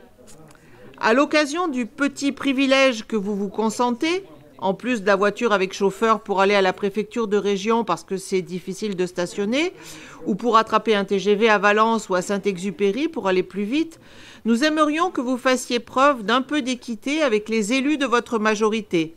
Nous ne sommes pas demandeurs pour nous-mêmes. Ils devraient pouvoir, en fonction de leurs conditions physiques ou parce qu'ils ont de longues distances à parcourir, ou parce que dans le cadre de leur délégation, ils ne veulent pas arriver transpirant à un événement, solliciter un VAE. Nous faisons confiance aux élus qui ne vont pas tous demander un VAE, mais seulement ceux qui en ont besoin. C'est pourquoi nous proposons un amendement selon lequel l'ensemble des élus disposant d'une délégation du maire peuvent solliciter la mise à disposition d'un VAE. Je vous remercie. Merci, Madame Boer. Euh, avant de passer la parole à, à Madame Chalas, euh, quelques petits mots. Donc, euh, effectivement, hein, ils, ils sont obligés de se déplacer à vélo, et sinon, après, on fait des séances où je les fouette collectivement dans la forêt. Ils sont obligés d'enrouler l'arbre pour euh, montrer qu'ils sont en communion avec la nature pe- pendant que je les fouette. Il y, a quelques euh, réactionnaires. Il y, en a qui refusent de se déplacer en vélo, qui ne marchent qu'à pied. hein, Monsieur Alotto euh, s'acharne euh, à, marcher, marcher, marcher. On a, a l'impression qu'il aime ça. D'autres, effectivement, se déplacent en voiture. Et on continue à se développer. Bon, c'est des déviants, effectivement, que nous avons dû exclure euh, à, à l'issue d'une séance euh, nocturne, euh, évidemment. Euh, liée à cela, la- la- quand la rééducation ne, ne fonctionne pas, effectivement, il, il n'y a plus que la sanction que- qui vaille et l'exclusion de, de la communauté sectaire que nous formons avec l'ensemble des écoterroristes de ce pays. Très bien, très bien. Madame Chalas, pour passer à des choses plus sérieuses, j'imagine. Alors sur votre amendement quand même, Madame Boer, euh, un petit mot, c'est qu'effectivement je trouve ça un peu singulier, pour tout vous dire, euh, que me retrouver euh, ciblé comme ça euh, personnellement dans, un amendement. Bon, voilà, donc c'est comme ça. Y a les, les règles, pour moi, qui devraient s'app- s'appliquer sont les règles du bon sens. Après, il faut qu'il y ait un caractère pratique à cela. Euh, c'est ainsi, mais euh, de fait, je partage euh, votre étonnement de voir que juste le, maire a un vélo à assistance électrique, mais je crois que peut-être que aujourd'hui au moins, ça permet de cadrer les choses et, et d'éviter que l'ensemble des élus se retrouvent avec des vélos électriques. Certains parfois où on pourrait se demander si c'est pour convenance personnelle ou pas. Et je précise effectivement que je ne circulais pas avec un vélo électrique au- auparavant, mais que je l'ai adopté dès 2014 pour l'exacte raison que vous mentionnez, c'est que me déplacer passant partout et représentant l'institution, effectivement, je préfère ne pas arriver sur les événements transpirants, ou en tout cas pas trop transpirants, pas plus transpirants que le climat ne rajoute, mais ce qui est vrai aussi pour ceux qui se trimballent en, automobile, sauf s'ils venaient mettre leur climatisation avant de rentrer dans la voiture. Sur ces détails hautement d'importance pour la vie publique, Madame Chalas, vous avez la parole. Oui, merci. Peut-être euh, plus simplement, mais euh, aussi sérieusement, euh, je ne comprends pas pourquoi est-ce que vous interdisez les, VAE aux élus. Enfin, je trouve que c'est vraiment très dommage parce que c'est quand même dans le sens de l'histoire. On est de plus en plus nombreux à, à, utiliser non seulement le vélo pour se déplacer pour le travail, dans nos fonctions personnelles aussi, mais de surcroît la part de VAE augmente de plus en plus et je ne comprends pas l'intérêt de changer le règlement euh, de, cette, euh, de cette délibération, d'autant plus qu'effectivement ça vous stigmatise, alors que moi je trouve que c'est plutôt bien d'utiliser le VAE et le vélo en général. Donc je ne comprends pas l'intérêt des amendements, on votera contre parce qu'on trouve que plus il y a de VAE, moins il y a de bagnoles, donc c'est quand même pas mal. Voilà. En l'occurrence, les VAE ne, remplacent pas les voitures, hein, puisqu'il n'y a pas d'élus aujourd'hui qui circulent en voiture parce qu'ils n'ont pas de VAE. Euh, bon, euh, l'arbitrage est fait ainsi. Euh, la ville de Grenoble, c'est un disque d'environ 5 km de circonférence. Donc, normalement, entre la marche à pied, les transports en commun et le vélo mécanique, on doit pouvoir s'en sortir. Voilà. L'arbitrage qui est fait. les élus, moi je sors effectivement extrêmement souvent de, Grenoble, ou bien dans la métropole, ou bien dans le bassin grenoblois, ou bien à l'extérieur. et donc dans la métropole, j'utilise le, vélo à assistance électrique partout. Bon, c'est comme ça.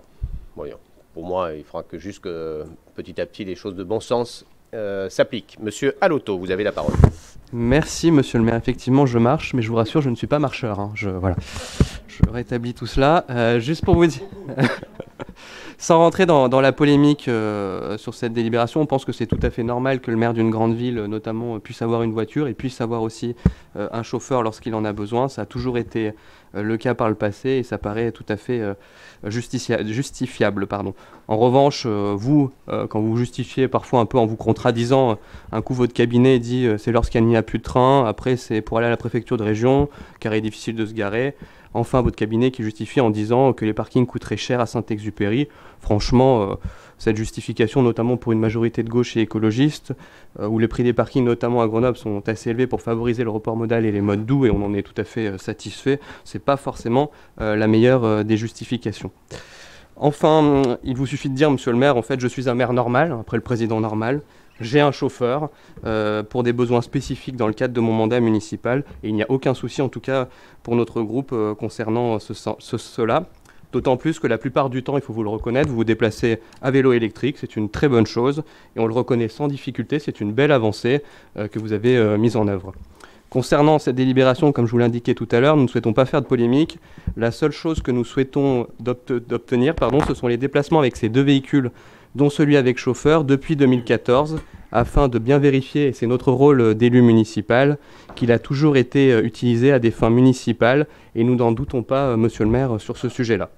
Vous avez, monsieur le maire, par le truchement des services, d'ailleurs, répondu favorablement à cette, euh, à cette demande, et nous vous en remercions, ainsi que les services, car on sait que c'est un travail important de collecte d'informations qui prend du temps, mais qui est un bel exercice de transparence des élus locaux envers les Grenoblois et qui ne pourra que renforcer la confiance des habitants envers les élus. Enfin, Monsieur le maire, concernant cette délibération, nous aurons un amendement à vous proposer dans une logique justement constructive pour protéger juridiquement l'ensemble des élus de ce Conseil. Je vais essayer de m'expliquer, essayer de faire simple pour que les Grenoblois comprennent, ainsi que l'ensemble des élus euh, de ce Conseil municipal, notre proposition.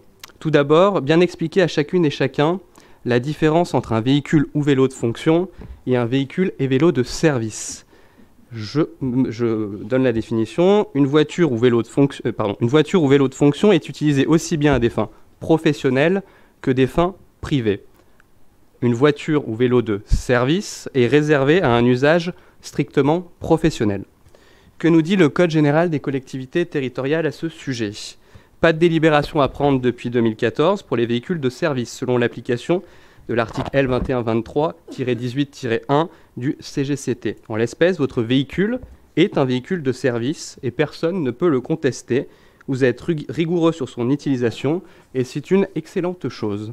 C'est donc respectueux du code que vous n'avez pas délibéré depuis 2014 concernant votre voiture de service avec chauffeur. Dire l'inverse pour faire de la politique politicienne pardon, n'aurait pas de sens. Vous délibérez aujourd'hui sur votre voiture, véhicule de service, car une réponse ministérielle 03 773 du 10 novembre 2022 précise que pour les véhicules de service, il faut également délibérer, et vous le faites, c'est une excellente chose. En revanche, vous nous soumettez un amendement indiquant que vous avez un vélo électrique, et vous le qualifiez de vélo de service. Notre groupe conteste cette qualification et pense que c'est un vélo de fonction, car, et j'y reviendrai plus loin, l'utilisation que vous pouvez en avoir relève du vélo de fonction, et pas seulement pour vous, hein, c'est pas du tout pour vous cibler, mais pour l'ensemble des élus de ce conseil qui peuvent avoir un vélo, et notre groupe s'inclut dedans sans aucune difficulté. Vous auriez donc dû délibérer dès 2014 et qualifier l'usage de ces vélos de vélos de fonction pour celles et ceux qui en ont cet usage. Et donc, être soumis bien sûr à déclaration fiscale, puisqu'une déclaration fiscale bien définie est à faire en avantage en nature concernant euh, ce vélo de fonction. Pourquoi nous vous disons cela? Non pas pour vous embêter, mais pour protéger l'ensemble des élus. Oui, pour protéger l'ensemble des élus. Car dans la pratique, car il est dans la pratique, monsieur le maire, très difficile, et on va en discuter, même impossible, de dissocier le personnel du professionnel. Sinon, il faudrait changer de vélo pour aller boire un verre avec les collègues, changer de vélo entre deux rendez-vous pour pratiquer ses loisirs. Et vous savez, monsieur le maire, qu'on a une passion commune pour le tennis et nous pouvons nous y rendre en vélo. Il n'y a aucune difficulté, mais ce serait très compliqué. Changer de vélo pour aller à son activité professionnelle. Changer de vélo lorsqu'on va à la métropole, puisque c'est un vélo qui nous est donné dans le cadre municipal. Et donc, cela devient un exercice particulièrement compliqué. Bref, pour toutes ces raisons, nous souhaitons amender cette délibération et qualifier votre vélo électrique, mais pas seulement votre vélo électrique, celui de l'ensemble des élus, de vélo de fonction, selon l'usage, afin de protéger juridiquement l'ensemble des élus et de se retrouver dans des situations d'irrégularité. Je vous remercie. Merci. Bon, on comprend bien que tout ça est absolument pour, euh, aider et absolument pas pour créer des, polémiques. Hein. Euh, c'est un sujet majeur de, la vie grenobloise. Bon, euh, quoi qu'on fasse, en fait, la réalité, c'est que nous avons changé de monde en 2014. je rappelle qu'il y avait une vingtaine de, véhicules pour les élus avant que nous arrivions. Il y avait trois véhicules qui étaient réservés aux, maires ou à ses proches avec deux chauffeurs.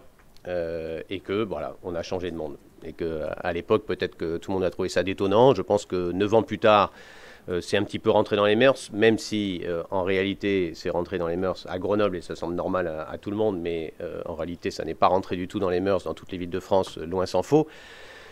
Mais que vraiment, on devrait s'attacher là au, principe et au bon sens plutôt que de, faire des, interventions à, tir larigot sur, sur ce côté-là. effectivement, si j'ai souhaité euh, me déplacer à vélo, c'est d'abord que je me déplace à vélo, que j'ai plaisir à me déplacer à, vélo. Ça ne m'empêche pas de me déplacer à pied, ça ne m'empêche pas de me déplacer en tramway euh, de temps en temps, euh, assez rarement.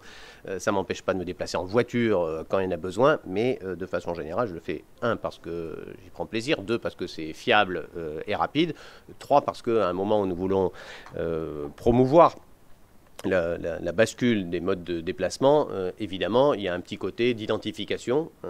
c'est d'ailleurs ce qui s'est passé. Le maire de Tsukuba euh, me, rappelait là que bah, c'est en venant à Grenoble et en me voyant arriver en vélo que tout d'un coup il s'est dit bah, tiens, mais moi aussi je peux le faire. De même qu'en 2014, un certain nombre de patrons grenoblois s'étaient dit bon, bah tiens, en fait, effectivement, le vélo, euh, pourquoi pas, et que ça les a fait bouger et que à leur suite, ça a fait bouger pas mal de monde. Donc il y a une fonction autour de cela. Pour le reste, je pense qu'il faut juste euh, rester dans les règles du bon sens. Hein. Évidemment, je rappelle qu'il n'y a pas de chauffeur du maire. Hein, euh, sur les deux chauffeurs qui étaient là en 2014, un a basculé dans un autre métier, le protocole. Le deuxième euh, n'est pas le chauffeur du maire, mais bien le chauffeur, comme c'est mentionné, de l'ensemble de ceux qui en ont besoin. Ça veut dire qu'il va chercher des personnalités, il va chercher des personnalités des écrivains et des écrivaines au moment du salon du livre, des gens que l'on reçoit, qu'ils occupent d'autres élus, évidemment, quand ils doivent se déplacer. Et que je crois que c'est une dizaine de fois où je l'ai utilisé, c'est pour des bonnes raisons, et c'est pas pour aller plus vite euh, quand je dois me déplacer, je le rappelle, parce que ces petites phrases insidieuses, euh, il faut les corriger. Je rappelle que nous ne demandons pas euh, une ligne TGV, je rappelle que c'est la position de l'ensemble des acteurs du territoire, quelle que soit leur couleur politique, et que si parfois je vais, comme d'autres, chercher le train à Valence ou à Saint-Ex, c'est juste pour des questions d'horaire, et que nous continuons à nous mobiliser auprès de la SNCF pour que les horaires soient rétablis tels qu'ils l'étaient à savoir 5h16 euh, ici, qui permet d'être à, Paris euh, à 9h quand il y a besoin. Euh, donc, je le redis, ce n'est pas une question de vitesse.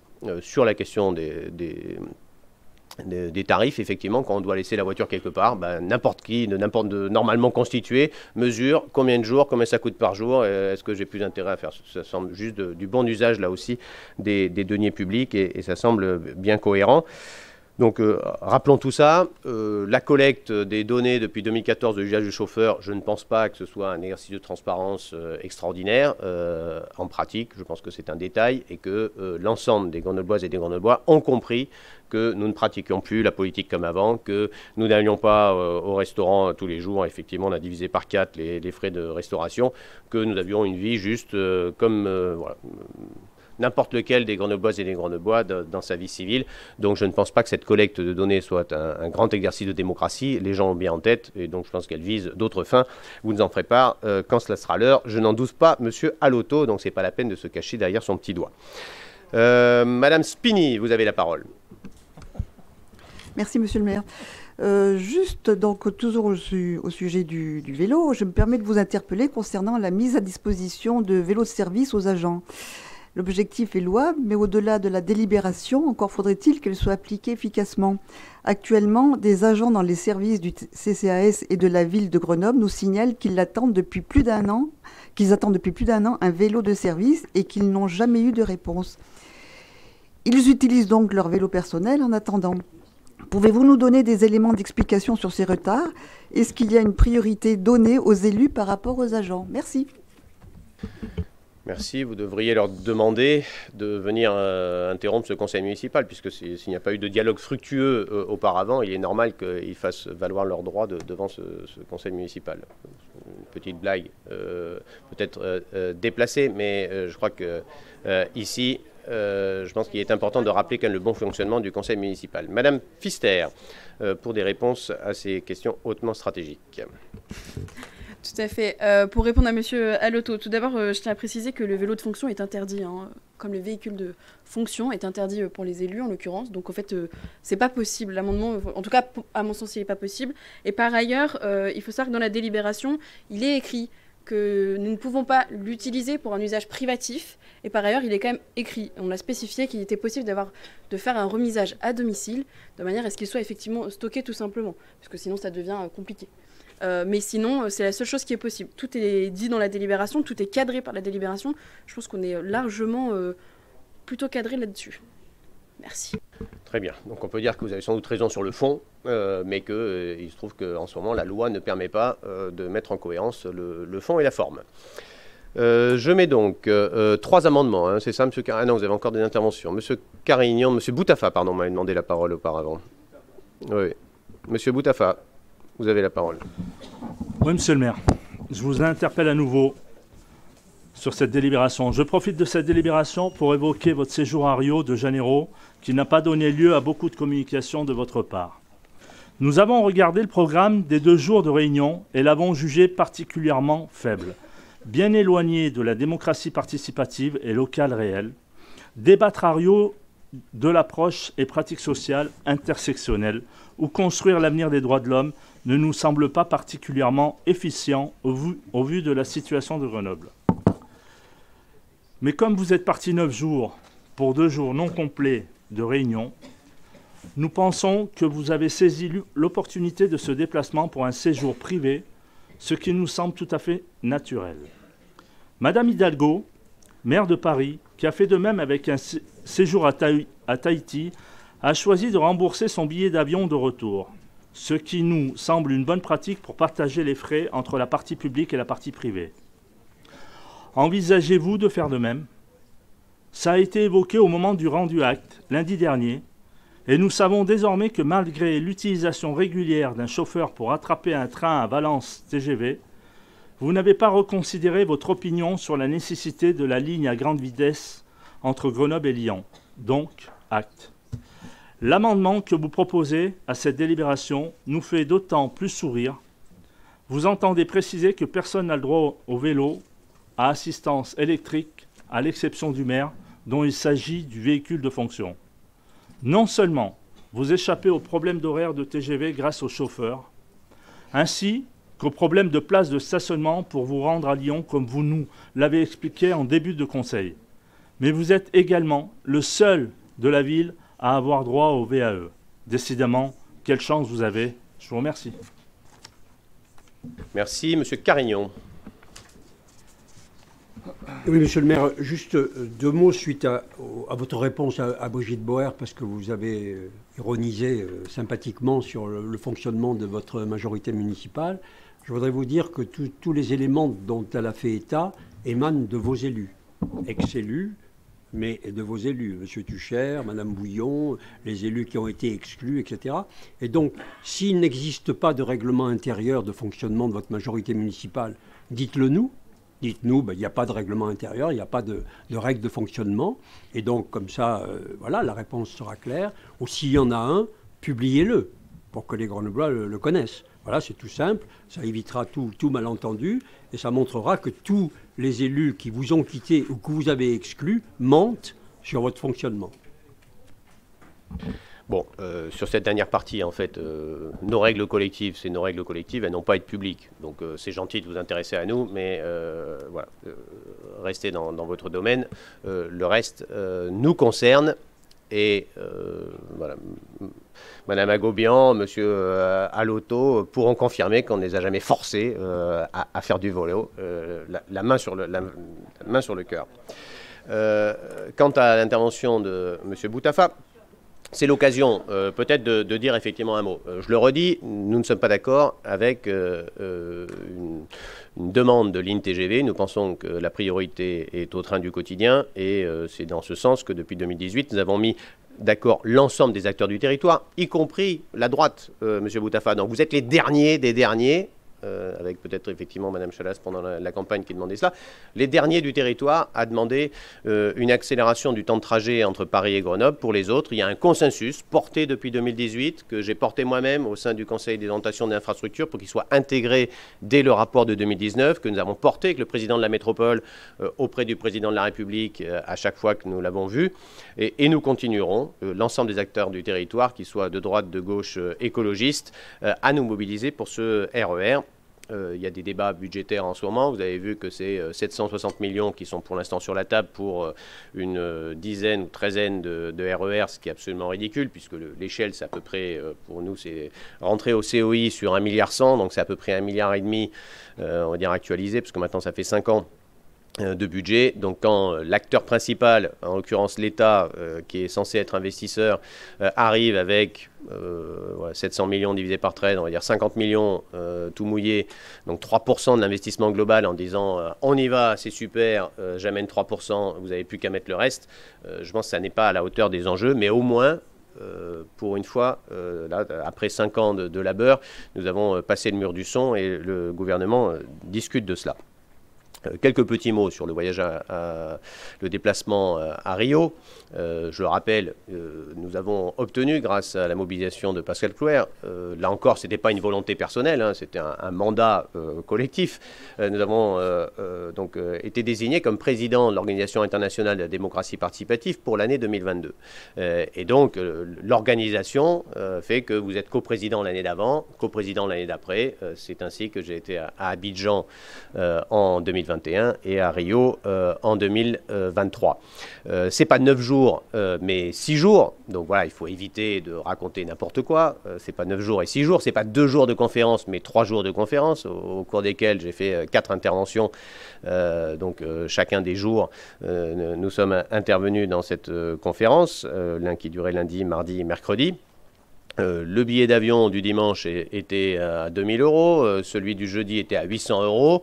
Donc nous sommes dit, bon, on, On peut euh, effectivement euh, là euh, avoir un intérêt, un, gain pour la communauté de déplacer ce, billet, euh, gagner 1200 euros euh, et euh, permettre aussi d'avoir des rendez-vous euh, supplémentaires. Donc ça nous a permis de rencontrer euh, l'Alliance française euh, à Rio, évidemment, mais également euh, des euh, acteurs avec lesquels euh, ben, la ville de Grenoble interagit depuis longtemps, euh, certains sur des liens culturels, euh, d'autres sur des, mobilisations, notamment en faveur des droits LGBT, puisque j'ai pu rencontrer euh, à cette occasion euh, la veuve de Marielle Franco, Marielle Franco militante LGBT qui a été assassinée en, en 2018, hein, qui a maintenant un, nom euh, d'arrêt de bus euh, à son nom euh, ici, euh, parce que nous avons choisi de visibiliser ces luttes dans l'espace public. Donc, elle est euh, conseillère municipale de, Rio. Et j'ai rencontré également une députée de l'État de Rio pour parler de ces luttes LGBT. Vous en pensez ce que vous voulez. Et pour ma part, je ne pense pas que. je, je n'ai jamais adjoint de voyage privé de plusieurs jours adossé à à un déplacement, euh, d'abord parce que le, temps est compté, euh, ensuite parce que quand je prends euh, des vacances, je prends généralement avec euh, ma famille, et donc euh, ça n'a pas été mon cas. Je peux vous dire, pour prolonger euh, la réflexion que j'ai comptée, parce que ça m'intéresse quand même à chaque fois que je fais un déplacement ou que j'accueille quelqu'un, hein, parce que que ce soit un maire de l'extérieur qui vienne ici ou moi qui aille ailleurs, évidemment ça fait des émissions de gaz à effet de serre, donc euh, nous regardons. Euh, pour ma part, c'est à peu près euh, deux trajets en avion euh, par an depuis le début du mandat. C'est euh, ridiculement peu euh, au regard de ce que pratiquait mon prédécesseur ou ce qui se pratique partout en France d'ailleurs. Hein, c'est pas une critique, c'est juste d'autres modes de fonctionnement. Donc c'est à peu près deux déplacements en avion par an euh, et ça continuera. euh, évidemment, parce qu'il y a à la fois les villes jumelles que je vais voir, j'ai été voir quasiment toutes les villes jumelles européennes de, Grenoble. À l'extérieur, j'ai été en voir à peu près la moitié. Euh, et puis, c'est parfois des événements euh, extérieurs. Ça a été euh, les COP, une fois pour France urbaine une fois en tant que capitale verte de, l'Europe. C'est également parfois des conférences auxquelles nous, sommes invités par, par exemple, en 2015, l'ambassade de France aux États-Unis. Donc voilà, c'est des arbitrages. Euh, évidemment, alors je sais que dans les, bilans de gaz à effet de serre euh, euh, qui sont proposés par l'ADEME et autres, ben, il n'est pas fait mention des, vols à vocation professionnelle ou de mandat, mais il n'empêche que malgré ça, je, regarde évidemment ces émissions. Euh, et euh, chacun, chacun des déplacements, ben, je, pèse euh, le pour et le contre, mais je crois important d'assumer notre rôle de ville de Grenoble dans les responsabilités que nous prenons hein, pour ces organismes collectifs. ben, il faut bien qu'il y en ait qui s'y collent et qui prennent des responsabilités dans ces organismes. Il faut évidemment assumer notre rôle plein et entier. C'est ce que nous faisons dans le réseau de Capital Verte ou dans celui de l'OIDP. Madame Roche, vous avez la parole. Alors, moi je trouve ça fantastique ce que vous racontez parce que si j'ai bien compris, moi ça ne me dérange pas que vous ayez un chauffeur, ça me paraît euh, légitime, il n'y a aucun souci. Arrêtez, Madame Roche, en fait, je n'ai pas de chauffeur. Donc, c'est un chauffeur qui est au service de Oui, l'ensemble euh, des élus. Oh, C'est de la sémantique, ok. Bah, non, mais c'est pas de la sémantique. C'est pas de la sémantique parce que ça, introduit un. Je vous l'accorde. Merci. Vous utilisez un chauffeur, il n'y a pas de souci à ça. Ça ne me choque pas du tout. Par contre, la, la réflexion que vous faites, c'est je prends mon chauffeur pour aller à, Lyon parce que vous comprenez, c'est compliqué de se garer, ça va plus vite, euh, très bien. Je ne veux pas de TGV à Grenoble, jusque-là, pourquoi pas, mais vous comprenez bien que j'ai quand même besoin hein, euh, d'arriver à 9h à Paris.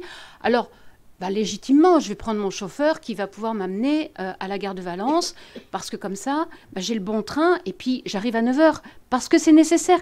Puis vous n'êtes pas le seul à avoir besoin d'être à 9h à, à- à Paris. hein. Il y en a plein des comme vous, sauf que... Sauf que on n'a pas tous des chauffeurs. Hein et donc, euh, si on est obligé d'aller à Valence pour poser sa voiture, il va falloir qu'en plus on paye le parking. Voilà, c'est juste un petit détail, mais qui a quand même son importance. Donc moi, vous me faites quand même bien sourire quand vous me dites je veux pas aller euh, parce que ça peut coûter cher de se garer trop longtemps, ou je veux pas aller parce que euh, il, faut aller à tel endroit pour gagner du temps, et puis qu'après vous nous dites on n'est pas une demi-heure près. Vous l'êtes. Il y a plein de personnes qui le sont, mais qui n'ont pas vos facilités. Voilà, parce que partir à Paris et arriver à 9h à Paris, si on doit se garer à Valence, on, paye le parking et ça coûte une blinde. Voilà. Alors, euh, vous confondez en fait vitesse et horaire. Hein, donc, sur la question des horaires, pour avoir travaillé pendant 18 ans dans l'industrie et m'être déplacé extrêmement souvent et avoir pris l'avion extrêmement souvent aussi, en fait, il y a les mêmes arbitrages. Mais les salariés, en fait, bah, ils ont, sur cette question des des parkings, et ben, les entreprises font euh, les mêmes arbitrages. donc les entreprises, dans celles euh, où, j'ai été en tout cas, ben, se disent qu'il valait mieux effectivement à la fin euh, prendre un, taxi plutôt que d'avoir une voiture particulière qui y aille avec les remboursements kilométriques, le parking, etc. Donc les entreprises font exactement la même chose que cela. elles font des arbitrages et je vous invite à, écrire comme nous le faisons pour que les horaires de la SNCF reprennent des ampleurs à peu près dignes de ce nom. Et puis sur Lyon, puisque ça vous amuse euh, que j'ai dit ça sur Lyon, je vais vous raconter une, anecdote. Bah si, euh, tant qu'à faire, on a le temps, vous voyez, on fait le conseil municipal. Mais c'est le temps, c'est vous qui, c'est vous qui le prenez. Donc voilà, au moins euh, racontons des choses un peu rigolotes. voilà. Le directeur de l'agence régionale de santé est parti à la retraite. Il fait évidemment une réception à l'hôtel de région, donc à la préfecture de région à Lyon. Euh, à laquelle je suis évidemment euh, invité. Nous avons travaillé euh, longuement ensemble. C'est à la fois une reconnaissance pour lui, pour ses équipes, un lieu de dialogue, parce qu'on croit que dans les, soirées où il y a des fêtes de départ, etc., on est juste en train de s'empiffrer ce que je fais.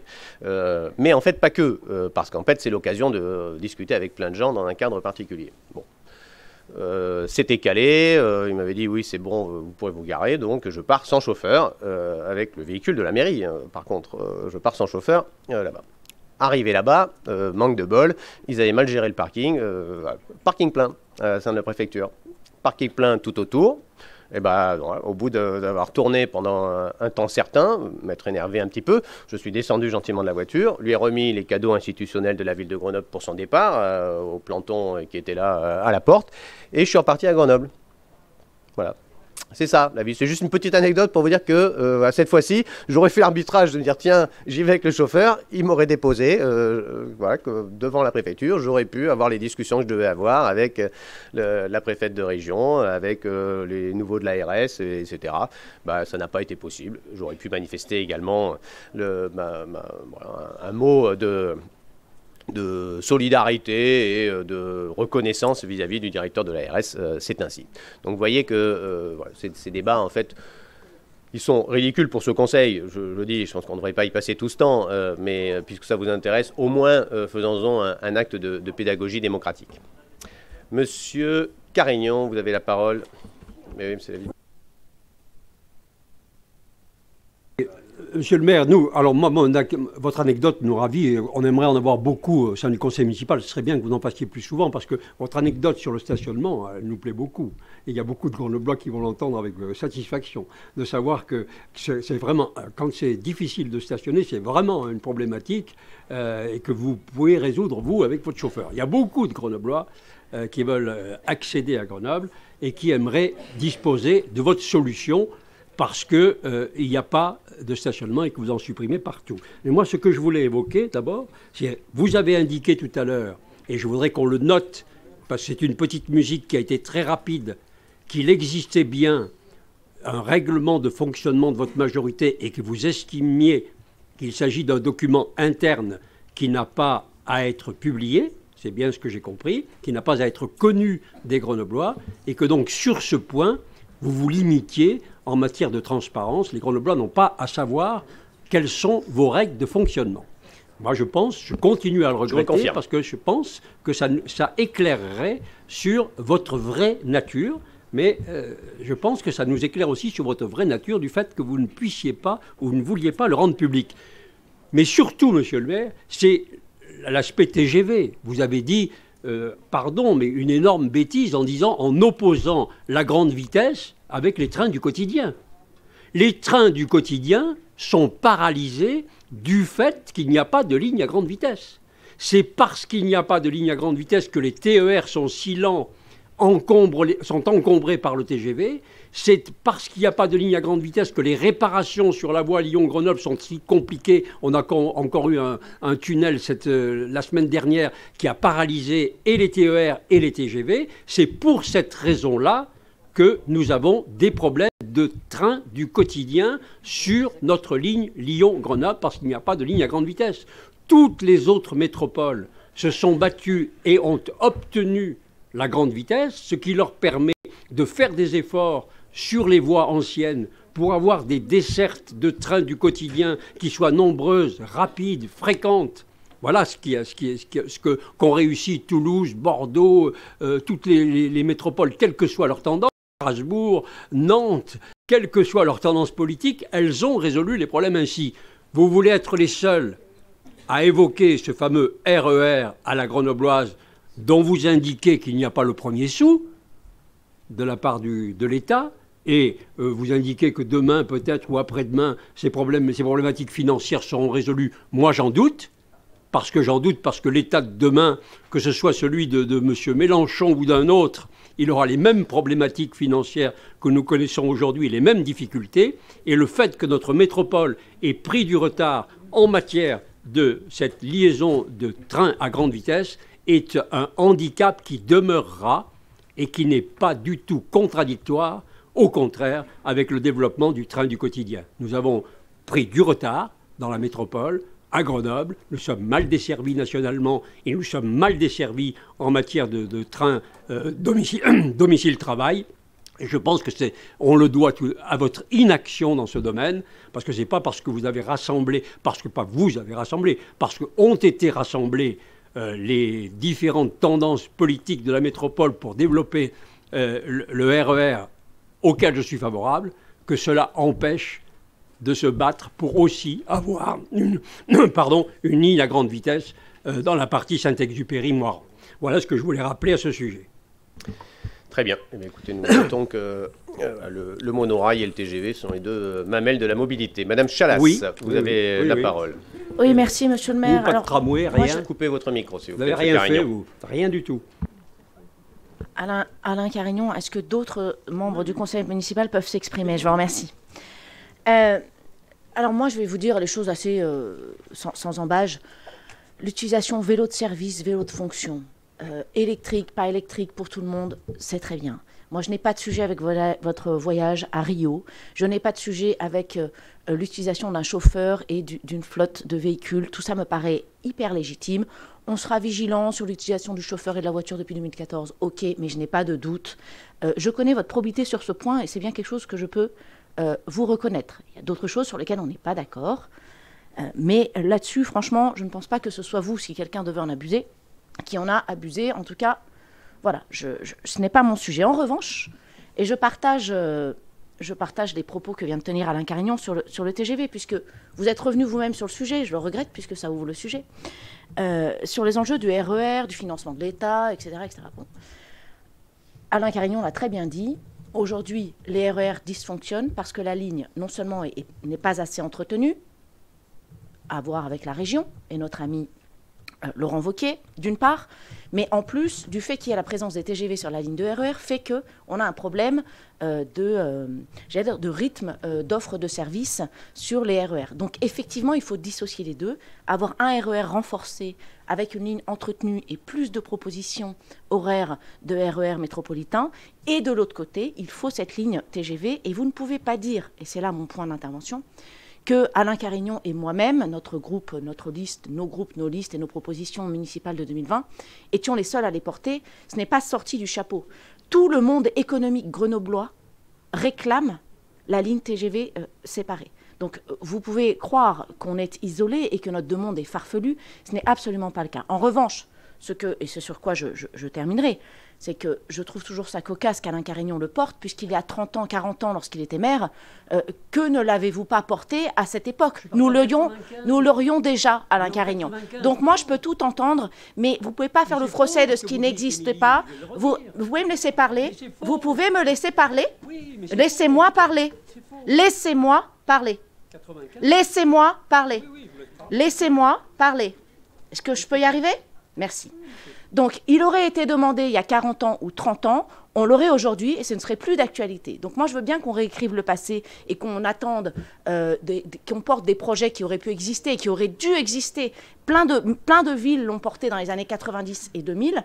Et aujourd'hui, on en est là aussi parce que les maires avant vous, cher Eric Piolle, ne l'ont pas porté. Et je voulais juste quand même le rappeler à la mémoire collective. Bon, voilà, nous notons que nous avons un désaccord. Nous notons aussi que nous n'entendons pas les milieux économiques. Nous les avons entendus se mobiliser euh, collectivement pour le RER. E nous ne les avons pas entendus se mobiliser pour, euh, le TGV. Donc euh, après, il y a un désaccord, c'est comme ça. Monsieur Alotto. Juste pour revenir à notre délibération, et je reviens sur les propos de Mme Chalas, nous, ne doutons pas non plus de votre probité euh, de ce point de vue-là, donc il n'y a aucune difficulté et on le dit euh, très clairement. Euh, simplement, j'ai entendu la réponse de, de Mme Pfister sur le vélo de fonction et je la remercie.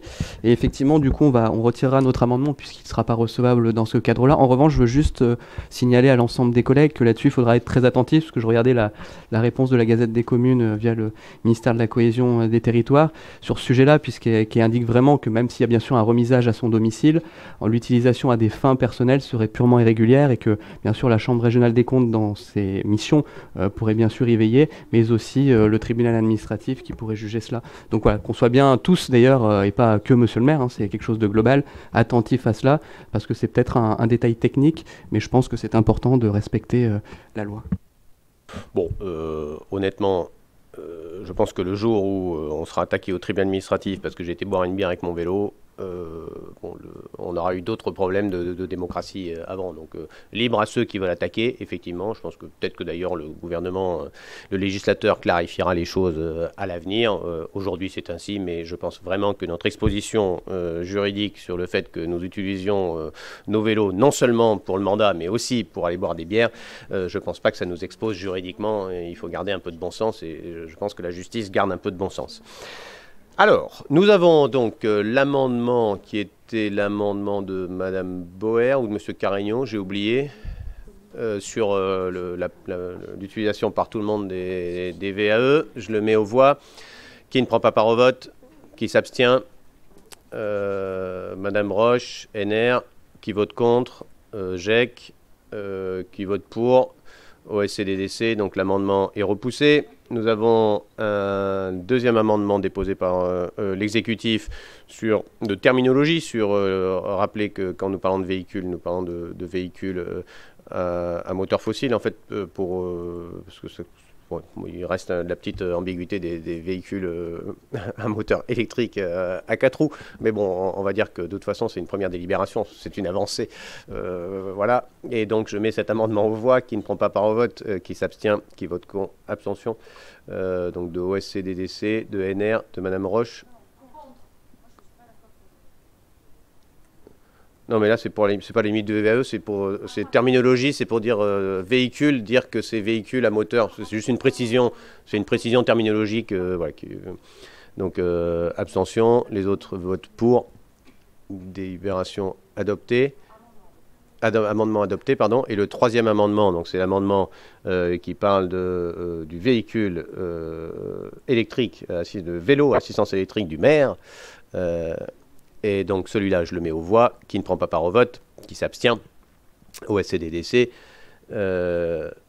GDES, vous faites quoi? Abstention de GDES, qui vote contre, NR et Madame Roche, qui vote pour, GEC et euh, aide-moi. NASA, merci. Euh, AEC, non, il n'y a pas les pouvoirs, c'est là. Euh, votez quoi, M. Benredjem Contre? Pour. Pour. Et donc, cet amendement est adopté. Je mets la délibération aux voix ainsi amendées qui ne prend pas part au vote, qui s'abstient au SCDDC, qui vote contre, qui vote pour. Très bien. Unanimité. Abstention également. Abstention donc de GDES et abstention de NR et de Madame Roche. Délibération adoptée à l'unanimité. Je vous remercie. Nous passons à la délibération numéro 26. Euh, création et transformation de postes. Euh, Monsieur Boutafa. Monsieur le maire, ces délibérations se suivent et se ressemblent. D'une part, et ça a été évoqué au moment des débats sur le budget, votre constance à créer de nouveaux postes et à creuser les dépenses de fonctionnement à quelque chose de suicidaire vu l'état des finances de la ville. Après presque dix ans à fonctionner ainsi, à avoir manqué le rendez-vous de la métropolisation pour faire des économies en mutualisant, il serait peut-être temps de vous interroger et de bien vouloir reconnaître que plus d'embauches ne signifie pas un meilleur service rendu. Je voudrais également parler de la façon dont sont traités certains contractuels au sein de la ville de Grenoble, après avoir abordé le sujet en ouverture de ce conseil avec le rendu acte. J'ai eu l'occasion, lundi dernier, et ne vous en déplaise, de vous évoquer les situations de mesdames Girardot et Kebaili, qui se retrouvent dans des situations très précaires aggravées par, les procédures auxquelles elles sont confrontées. Euh, maintenant, on a de plus en plus euh, d'exemples pour dire que les problèmes humains, ce n'est pas de votre niveau. Quand on se penche un peu sur les dossiers d'agents en souffrance, on se rend compte que ce ne sont pas des exceptions isolées. Car malheureusement, nous avons d'autres exemples qui nous sont rapportés régulièrement. Je me permets de vous en citer deux sur des dizaines qui nous paraissent invraisemblables, avec l'accord des concernés évidemment, comme toujours. Les dossiers de messieurs Lopez et Boudjema. Monsieur Lopez travaille depuis 2019 dans différents services de la ville de Grenoble. Celui-ci exerce depuis quelques années au sein du service propreté urbaine. Le fait d'arrêter son contrat à un mois de sa titularisation est difficilement compréhensible. D'autant plus qu'une pétition circule avec plus d'une centaine de ses collègues signataires et continue d'en récolter. Les pétitions, sont là, à votre disposition. Je souligne ici que monsieur est marié, père d'un nouveau-né et risque de se retrouver dans une situation très complexe, alors que sa situation familiale nouvelle le fait légitimement aspirer à un minimum de stabilité professionnelle. Monsieur Boudjema, quant à lui, qui travaille pour le service des sports, se voit remercié au terme de sa mise au stage de 12 mois alors qu'il devait être titularisé.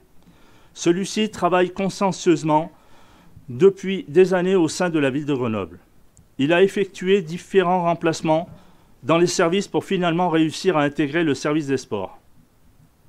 Qu'a-t-il fait pour mériter d'être poussé vers la sortie de manière aussi violente, malgré son âge qui complique encore plus ses chances de retrouver un emploi?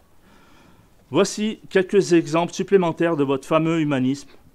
Comptez sur nous pour en donner autant de fois que nécessaire afin de bien faire état de la réalité de vos méthodes, loin de vos discours de façade. Merci. Merci. Qui ne prend pas part au vote Qui s'abstient Qui vote contre qui vote pour unanimité. Délibération adoptée, la 27.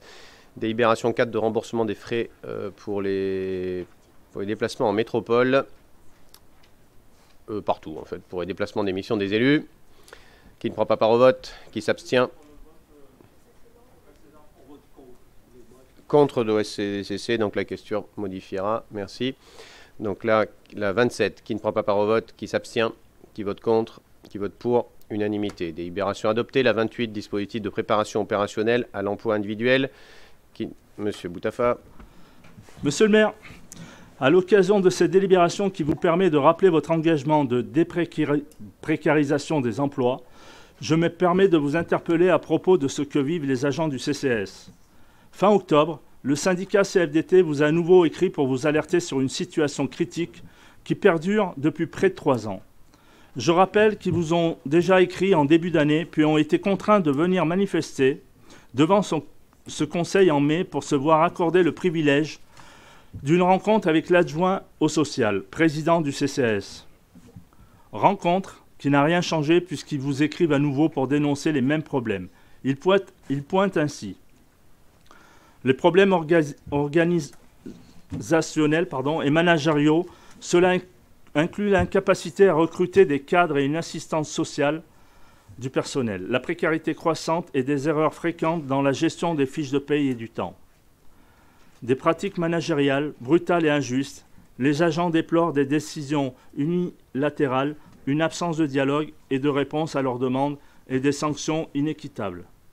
L'impact sur la santé et la qualité de vie au travail avec la détérioration des conditions de travail qui affecte la santé physique et mentale des agents. Pour l'employeur exemplaire, on repassera. Et évidemment, le déni et l'inaction des élus du CCS. Aucune mesure concrète n'a été prise pour résoudre la situation malgré les multiples interpellations. Face à ces problèmes, les agents qui vous écrivent vont jusqu'à réclamer un élu en charge du personnel et du dialogue social et l'instauration d'un dialogue social transparent et constructif. Si ce n'était pas aussi grave, on pourrait presque en rire en se rappelant que nous avons sur vos bancs un adjoint au personnel qui passe justement son temps à faire la leçon au gouvernement à propos du manque de dialogue social. Mais il n'est pas à une contradiction près. Je relaye ce courrier pour les quelques Grenoblois qui nous écoutent ce matin et pour la presse parce qu'il est important de montrer la réalité de la gestion derrière l'humanisme de façade. Et malheureusement, ces pratiques à nouveau dénoncées par les agents eux-mêmes confirment une fois de plus la brutalité du fonctionnement de votre système que j'ai décrit lundi dernier. Merci. Merci. Qui ne prend pas part au vote? Qui s'abstient?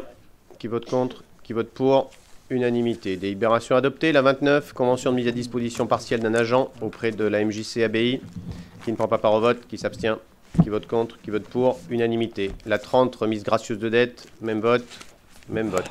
La 31, avenant au contrat de prestation intégré euh, avec euh, le CCAS. Même vote. Même vote. Et euh, je crois que nous avons épuisé l'ordre du pas eu, jour. Brigitte, tu Il y a donc maintenant, non pas l'ordre du jour, les délibérations, mais il y a maintenant euh, les euh, questions orales. Euh, la première est euh, d'AEC sur euh, les fonctions du maire. Oui, j'ai allumé. Merci. Ben, bonjour tout le monde. Bonjour Monsieur le maire. oui, notre question se porte donc sur, euh, sur votre intérêt pour Grenoble ou votre désintérêt. donc, euh, vous avez démontré donc, ces derniers donc, mois, il y a plusieurs reprises, donc, votre désintérêt croissant donc, pour Grenoble. Euh, par votre annonce d'effectuer prochainement donc, de multiples stages d'un mois pour vous ressourcer, par votre déplacement de huit jours à Rio en faisant le choix d'être absent donc, du conseil municipal initialement prévu le 6 novembre, devant la publicité faite sur ce déplacement et votre absence prévue lors du conseil municipal consacré au budget donc 2024, vous avez fait le choix de déplacer le conseil municipal plutôt que d'annuler ou réduire la durée du voyage.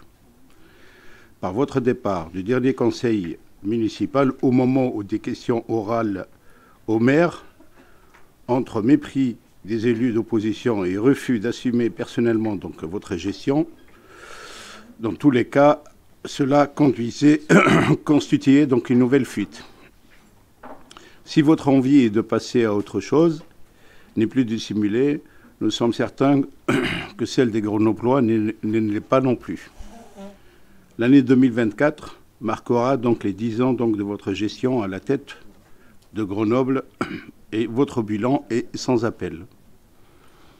Donc un service public sans cesse réduit, une ville immobile sans ambition ni créativité, une démocratie locale bafouée, une, culture sous contrôle, des finances au plus mal malgré la vente du patrimoine des Grenoblois, une explosion de la dette, une augmentation massive donc de la fiscalité. Et des investissements qui ne se comptent que sur les doigts de la main. Tout cela est étouffant. Tous les projets d'envergure qui pouvaient donc répondre donc aux attentes des Grenoblois et de faire, de notre, euh, de faire grandir notre ville, mais qui ne venaient pas donc de vous. En bridant donc les énergies de la créativité des agents de la ville, en, en virant nombre de vos collaborateurs et même des élus donc, euh, qui osaient vous contredire ou simplement exprimer un soupir prudent. Malheureusement, pour les Grenoblois, cette envie donc de quitter Grenoble et de passer à autre chose, à une autre dimension, tournait court avec l'échec donc de votre candidature, donc à la candidature de euh, la candidature euh, écolo donc à la présidentielle.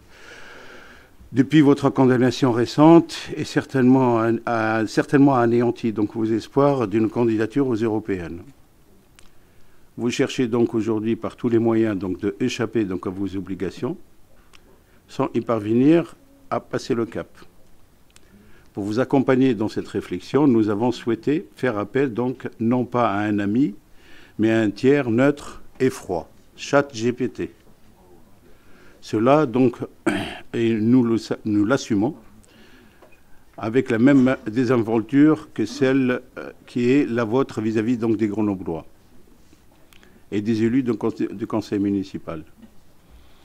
Nous avons donc posé donc deux questions donc à ChatGPT et nous invitons donc chacun à en faire de même pour constater que nous restituons donc bien l'intégralité pardon des réponses.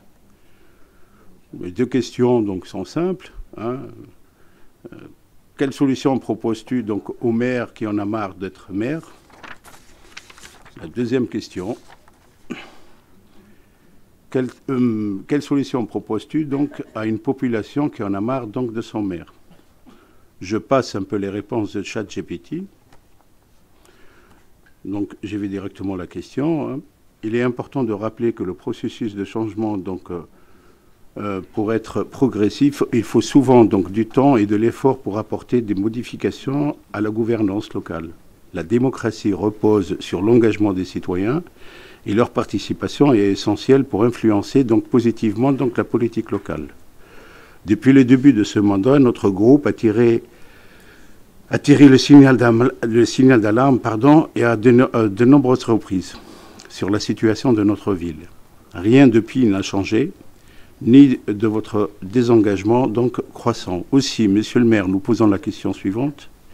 Parce qu'il reste quand même deux ans et demi dans ce mandat, nous vous, demandons de nous dire ainsi qu'au Grenoblois, si vous envisagez réellement de remplir donc vous, dans toutes vos fonctions et vos obligations de maire, ou bien donc vous préférez-vous donc vous orienter vers l'une des réponses et de solutions donc listées ci-dessous. Merci, Monsieur le maire.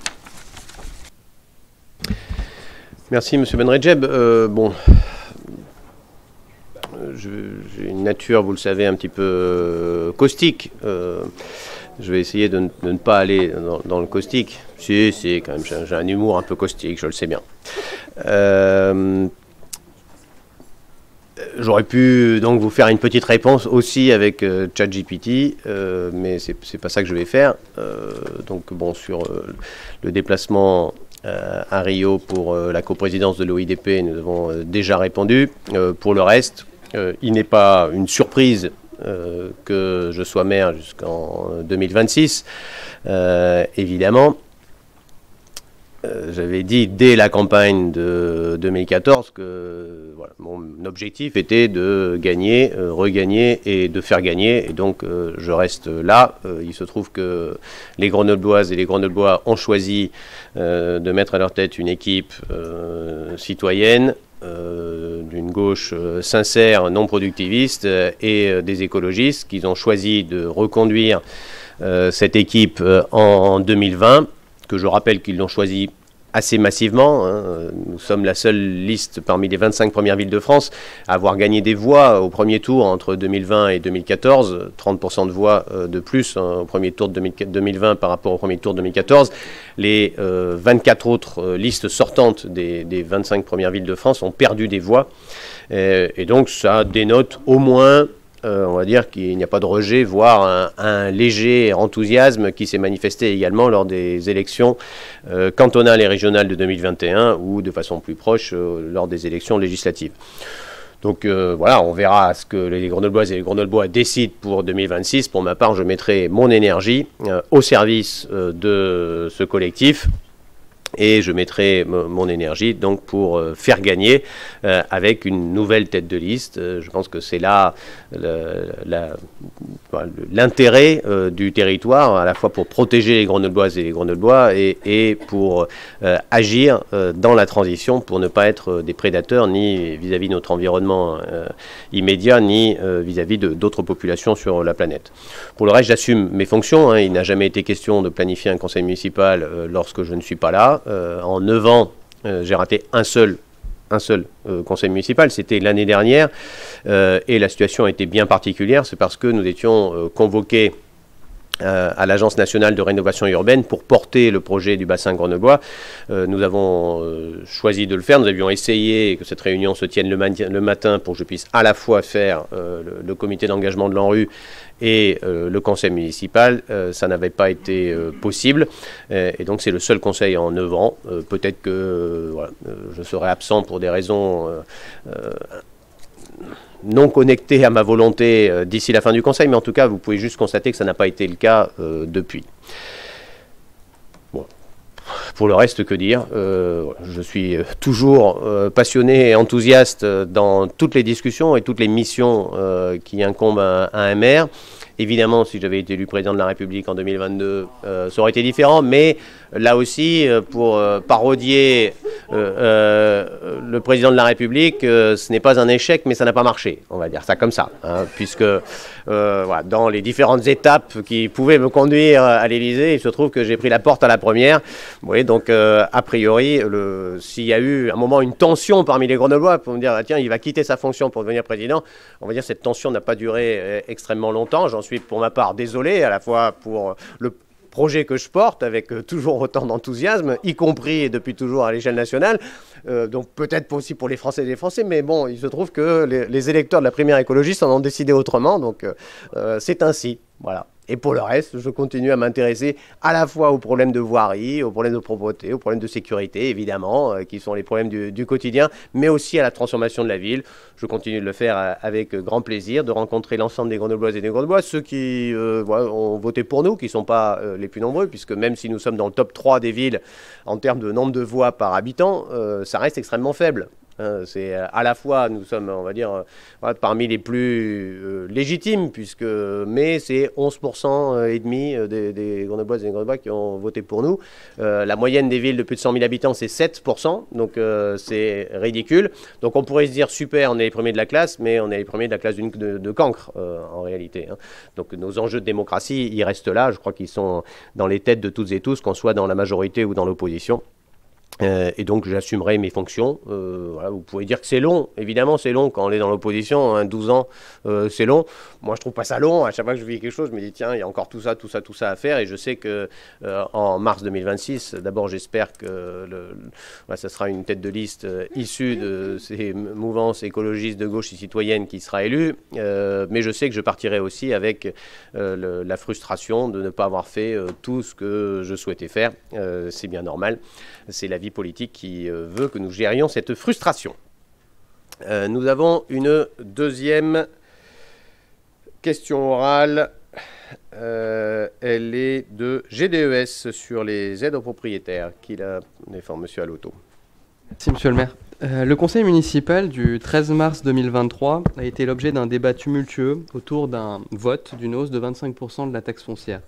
Cette forte hausse s'est vue justifiée dans le cadre du financement d'un bouclier social et climatique qui, ce que l'on pouvait lire, aurait soi-disant permis d'accélérer les transitions. Parmi les mesures du dit bouclier figurait 1 million d'euros en année pleine dans le cadre d'une aide pour les personnes les plus modestes, je cite. Aide qui, dans la délibération visant le budget principal 2023, est résumée en cinq lignes. Si l'analyse du revenu disponible 2019 par unité de consommation et par décile sur Grenoble montre que les propriétaires ont un revenu disponible entre 30 et 50 et 80% plus élevé que les locataires. Ceci n'exclut pas des situations possibles de propriétaires modestes qui pourraient être fragilisés par la hausse de leurs dépenses contraintes. Le CCAS sera attentif à ces situations, débloquant des aides individuelles appropriées pour les personnes fragilisées. Fin de citation. Ainsi, pour compenser la hausse de la taxe foncière pour les propriétaires modestes, ceux-ci pourraient solliciter le CCAS afin qu'il les accompagne vers des aides ciblées. Pourtant, votre adjoint en charge de l'action sociale et vice-président du CCAS évoque, dans une interview accordée au Dauphiné Libéré, et je le cite, une vingtaine de personnes rencontrées et 40 rendez-vous programmés, ayant pour effet la mobilisation de 15 000 euros pour cette vingtaine de personnes. Un million d'euros ou 15 000 euros?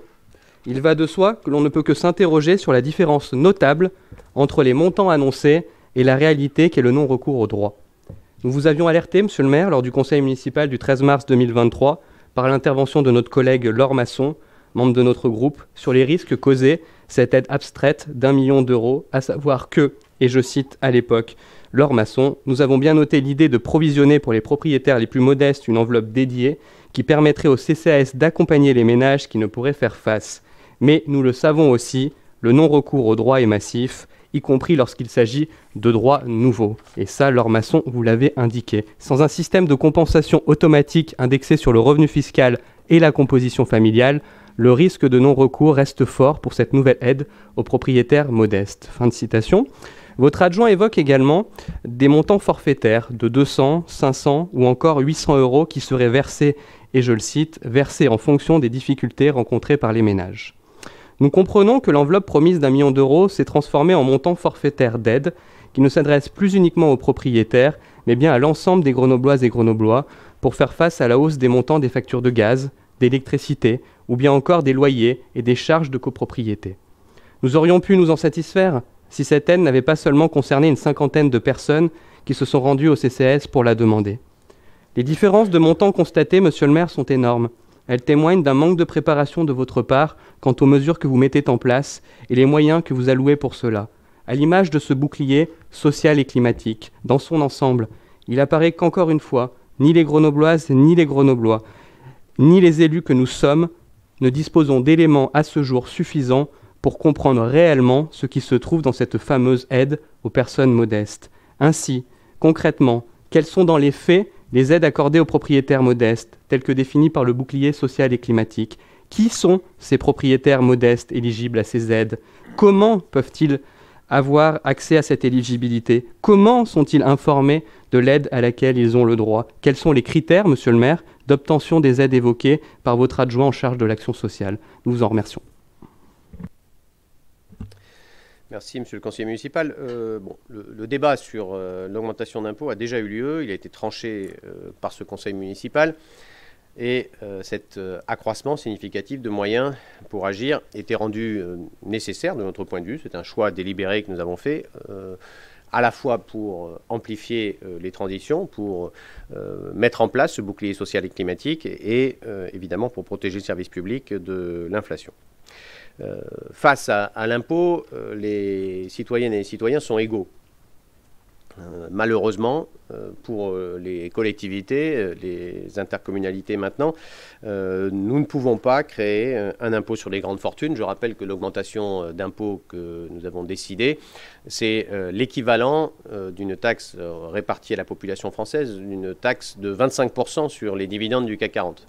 Hein, c'est 25%, si on taxait de 25% les, dividendes du CAC 40, euh, bah, ça ferait l'équivalent pour Grenoble de la hausse d'impôt que nous avons fait.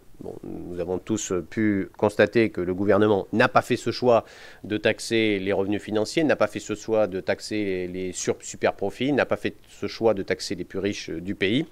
Euh, nous vivons donc là avec des choix assumés de se dire que euh, protéger le territoire, protéger la biodiversité, protéger, euh, atténuer le, changement climatique, c'est essentiel et le faire dans le cadre de la justice sociale, c'est essentiel.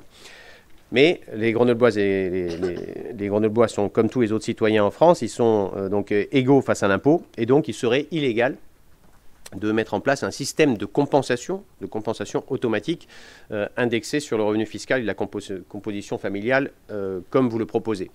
Euh, ça ne veut pas dire que ce n'est pas ça que nous souhaitons. Nous avons d'ailleurs présenter euh, aux parlementaires des amendements pour que la taxe foncière euh, soit euh, dorénavant corrélée au patrimoine des gens et aux revenus.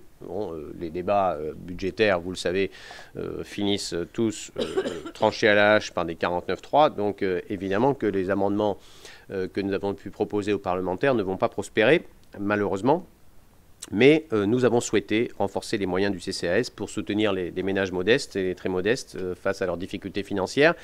Euh, quel que soit le statut euh, d'occupation. Euh, je rappelle là que 9 propriétaires sur 10 ont des revenus qui sont dans la moitié haute des revenus des locataires. Hein. donc seul 1 sur 10 a des revenus dans la moitié basse des revenus des locataires et que ce sur 1 sur, 1 sur 10, il y en a la moitié qui sont des personnes de plus de 75 ans qui sont donc exonérées de taxes foncières quand leurs revenus sont sous un, un seuil. Un nouveau règlement euh, des aides sociales facultatives a donc été adoptée à l'unanimité par le conseil d'administration du CCAS pour élargir les publics pouvant bénéficier de ces aides, puisque effectivement, c'est un million d'euros supplémentaires qui sont consacrés à cela. ces aides relèvent soit du soutien aux droits fondamentaux, soit du soutien à la dignité de l'habitat, au maintien dans le logement. Et c'est dans ce cadre que nous pourrons agir sur les questions de précarité énergétique ou en faveur de propriétaires occupants modestes en difficulté. Euh, le point Conseil budget euh, propose pour cela un accompagnement budgétaire et un travail sur les exonérations possibles, l'échelonnement des prêts, euh, les aides financières. bref, il y a là un, vrai travail qui est un, travail adapté à chaque personne en fonction de critères qui sont, eux, objectifs. Une importante campagne de communication pour faire connaître le point conseil budget au CCAS a été lancée cet automne. Des recrutements d'ailleurs sont en cours pour renforcer les équipes. Et donc euh, ce budget du CCAS a été abondé pour faire face à ces euh, nouveaux enjeux. La montée en charge est progressive évidemment, on tirera le bilan de ce dispositif une fois qu'un exercice entier se sera déroulé. D'ici là, je vous invite euh, à promouvoir ce dispositif, je le fais moi-même, je l'avais indiqué lors du conseil précédent, oui j'ai sorti ça de ma pochette à vélo, le document sur héberger locataire propriétaire, le CCAS peut vous aider. C'est un flyer très bien fait que vous pouvez euh, diffuser. En tant qu'élu, vous êtes là aussi pour euh, diffuser cela, même si vous n'êtes plus dans la majorité. J'en porte un deuxième, je, tiens à le dire, parce que Cara Cap-de-Pont est assise à côté de moi sur la solidarité numérique. C'est elle qui me l'a donné. Et donc, je diffuse là aussi au fur et à mesure. Un troisième sur le travail que nous avons fait sur les livreurs. Donc, je continue, étant interpellé plusieurs fois par jour, à diffuser l'information. Je crois que c'est notre rôle d'élu. Euh, et euh, évidemment que la question d'accès au droit euh, reste une question qui, vous le savez, est chère à notre cœur, qui n'est jamais facile de, prendre et que nous adoptons par tous les bouts. Et donc, vous êtes un des canaux d'information qui peut permettre aux propriétaires occupants en, difficulté d'accéder à ce point conseil budget, comme les locataires et tout le monde, en fait, a droit de le faire. Je vous remercie pour votre question. Nous avons une dernière question euh, elle porte sur OSCDDC, euh, sur un plan d'économie des frais de fonctionnement euh, qui la présente Madame Boer. Oui, Monsieur le maire, nous avons déjà évoqué le sujet dans ce conseil au moment des débats sur le budget, mais nous profitons de l'exercice de la question orale afin d'obtenir des réponses précises de votre part à propos d'éléments essentiels pour l'avenir de Grenoble. La situation financière de la ville, après dix ans de votre gestion, est désormais connue et documentée. Votre communication bien huilée, du moins qu'il l'a été, ne parvient plus à camoufler la faillite. Alors que les dessous de votre gestion sont maintenant mis sur la table, y compris par votre ancien adjoint aux finances. Nous avons souvent ironisé sur le slogan Un temps d'avance que vous vous plaisiez à répéter, mais finalement, force est de constater que grand mal nous en a pris. Car Grenoble a effectivement pris un temps d'avance pour l'impôt. Avec votre augmentation de 32%, nous conservons et de loin le record des grandes villes pour la taxe foncière. Une fierté supplémentaire à mettre à votre, à votre actif, arrangée avec le titre de première ville de France hors Paris pour les îlots de chaleur ou encore pour le prix du stationnement. Grenoble a aussi pris un temps d'avance pour la dette, avec un encours jamais atteint dans l'histoire de la ville, qui explose la moyenne des villes de notre strate. Dans l'éventualité plus qu'incertaine où vous bénéficieriez finalement des recettes de la vente de Grenoble Habitat, la dette se stabiliserait l'an prochain. Mais d'une part, pour cette recette apparaît de plus en plus comme étant purement fictive, et d'autre part, quelle que soit l'issue de ce dossier, la dette explosera à nouveau, dès 2025, puis en 2026. Bien sûr, vous vous en lavez les mains et laissez ce fardeau à vos successeurs et aux Grenoblois, devant qui vous ne vous représenterez plus. Grenoble a également pris un temps d'avance pour les dépenses de fonctionnement. Loin d'avoir tiré les leçons de votre premier mandat, vous accélérez la fuite en avant avec des dépenses en, en hausse sans discontinuer depuis les dernières élections. Entre 2021 et 2023, on peut même parler d'explosion et elles augmenteront encore en 2024. Et le contexte national n'est pas une excuse, car là encore, nous sommes bien au-delà de la moyenne des villes de notre strate. Enfin, Grenoble a pris un temps d'avance pour la gabegie du patrimoine municipal. Entre les locaux municipaux vides, rue des Alliés, chemin de la Poterne, place des Géants, avenue Marie-Rénoir, pendant que vous avez acheté et rénové à grands frais le bâtiment du Crédit Agricole où nous nous trouvons, et le patrimoine historique de la ville à l'abandon, inexploité, et pour lequel il faudrait faire appel à des initiatives privées, puisque nous n'avons pas un sou pour l'entretenir. En revanche, et c'est le seul sujet sur lequel on aurait aimé que vous preniez de l'avance, nous sommes considérablement en retard pour la mutualisation, qui permettrait des économies importantes. Pour une querelle de personnes qui vous oppose au président de la métropole, vous créez des doublons de services qui compliquent la vie des usagers et pèsent sur les finances des deux collectivités. Vous avez ainsi repris la police de voirie juste après les municipales, et c'est désormais la métropole qui veut reprendre la gestion des arbres. On pourrait se contenter de suivre l'évolution de cette pathétique guéguerre personnelle comme un divertissement. Elle a malheureusement des conséquences lourdes car elle se joue sur fond d'argent public. Tous ces éléments sont à mettre à votre actif, malgré, je le rappelle, un violent plan d'austérité qui a d'abord touché les quartiers populaires, et malgré la vente de GEG à la métropole pour renflouer un peu les caisses, au prix de la perte d'un outil stratégique majeur. Vous êtes d'ailleurs toujours dans cette stratégie de bradage des bijoux de famille, puisque vous souhaitez vendre Grenoble Habitat, ce qui pourrait, espérons-le, ne rester qu'à l'état de tentative, mais également la compagnie de chauffage, bien que la question de la présidence semble bloquer l'opération pour le moment. À la lueur de ce formidable bilan, vous n'avez que deux options, et vous le savez. Soit vous persistez sur cette pente et vous conduirez irrémédiablement la ville à l'asphyxie complète par l'impôt, la dette, les dépenses de fonctionnement. Les générations de futurs Grenoblois et vos successeurs à l'hôtel de ville payeront alors votre lâcheté, car vous ne serez évidemment plus aux commandes pour assumer. Soit, et ça demande un peu de courage, vous faites le choix des réformes de structure et des économies pérennes plutôt que de vous entêter dans une fuite en avant qui finira mal. Lors des dernières élections municipales, vous vous étiez engagé à ne pas augmenter les impôts. On voit ce qu'il en a été. Les autres listes promettaient monts et merveilles, et tous ont éludé le sujet de la situation financière de la ville. De notre côté, nous étions les seuls à oser parler de la nécessaire réduction des dépenses de fonctionnement pour redonner des marges d'investissement et à proposer de nouvelles recettes en tirant profit du patrimoine grenoblois abandonné. Bien sûr, c'est plus facile de mettre sous la table ce genre de sujet pour ne parler que de ce qui fait plaisir le temps de l'élection. Nous sommes les seuls à avoir refusé de se prêter à ce petit jeu de dupes et à avoir tenu un langage de vérité aux Grenoblois. Je constate d'ailleurs aujourd'hui que sur les bancs des oppositions, si la dénonciation de votre gestion est désormais unanime, nous sommes à ce jour encore les seuls à formuler des pistes d'économie. Plus de trois ans après les municipales, force est de constater que nos craintes exprimées à l'époque se sont avérées plus que justifiées et qu'il est plus urgent que jamais de mettre en œuvre nos propositions. Aussi, nous vous le demandons avec toujours cet espoir que vous finirez par revenir les pieds sur terre pour rétablir une trajectoire saine pour la ville. Acceptez-vous d'étudier les possibilités de réorganisation interne autour des fonctions essentielles de la ville pour élaborer un vrai plan d'économie et de, fonctionnement? À ce titre, le poids de la masse salariale doit être revu, et j'anticipe déjà vos cris d'orfraie. Il fut un temps où les dépenses de, de, où les dépenses de personnel rapportées aux dépenses de fonctionnement représentaient de l'ordre de 20 points de moins qu'aujourd'hui. Elles ont ensuite explosé sous le mandat de votre prédécesseur et ont continué de s'aggraver sous le vôtre.